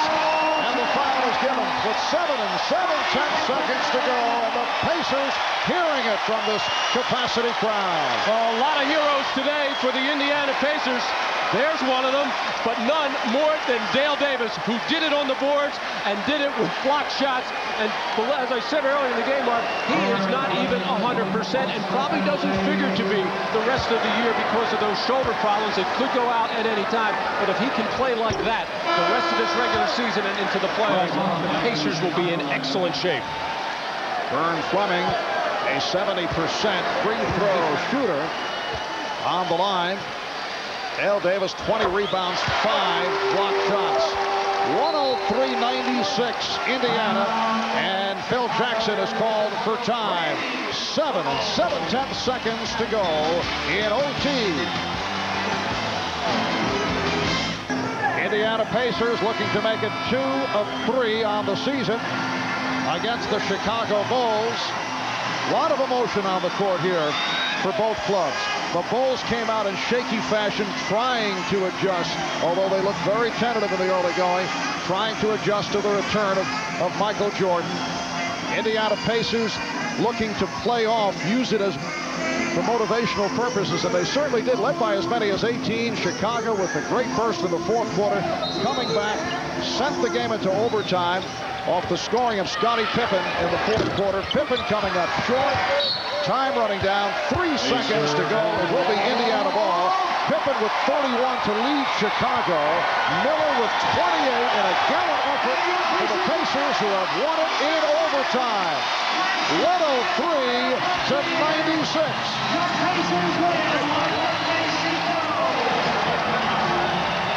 Chicago shooting only 2 of 13 from the field in the overtime session. And Indiana with a record of 40 and 24. Now let's go to Ahmad Rashad with Michael Jordan. Ahmad? All right, Michael, you got one under your belt. How does it feel? Well, as you see, my timing was a little bit off today. I mean, I was just trying to get my rhythm back, and I don't know if it was a good game for me to come back. Reggie seemed very energized, and uh, you know, so it's, it's, my first game back, and you know, I know it's not going to happen in one game. It's going to take a little bit till I get my timing back, but hey, I'm back. That's all that matters. Does it concern you, though, with the playoffs so close, that you will get your timing back in time? Perfect timing. I'm not worried about that. I think, you know, a couple games I should have my timing back, but you know, this is not a playoff game, and it's not, you know, I know we want to win, but for me, I mean, I, I really got to take my time and, and, try to work my way back in.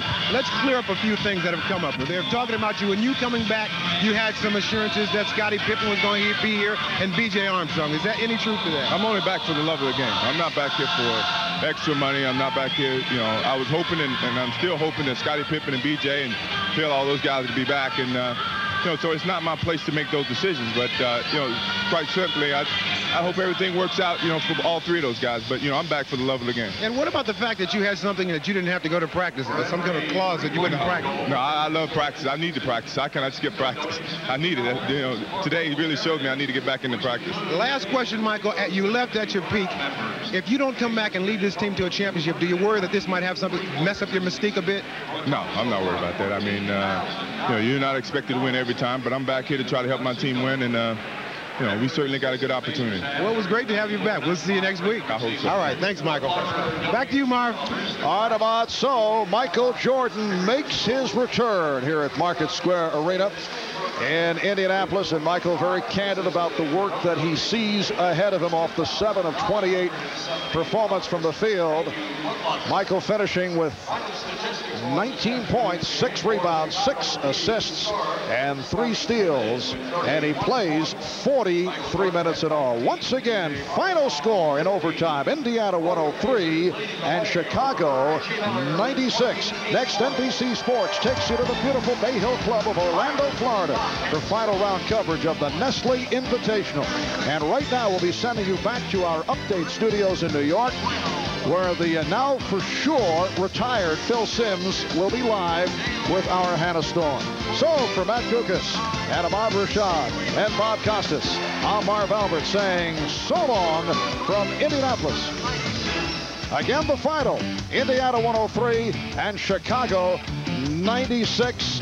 Reggie Miller, Michael Jordan dueling down the stretch. The Pacers go to 40 and 24. They remain a half game over Charlotte earlier today. Charlotte defeating Utah for Indiana. Three straight wins, six of the last seven, while the Bulls see a three-game win streak come to a close. They are now 34 and 32. That wraps it from Market Square. This has been the NBA on NBC.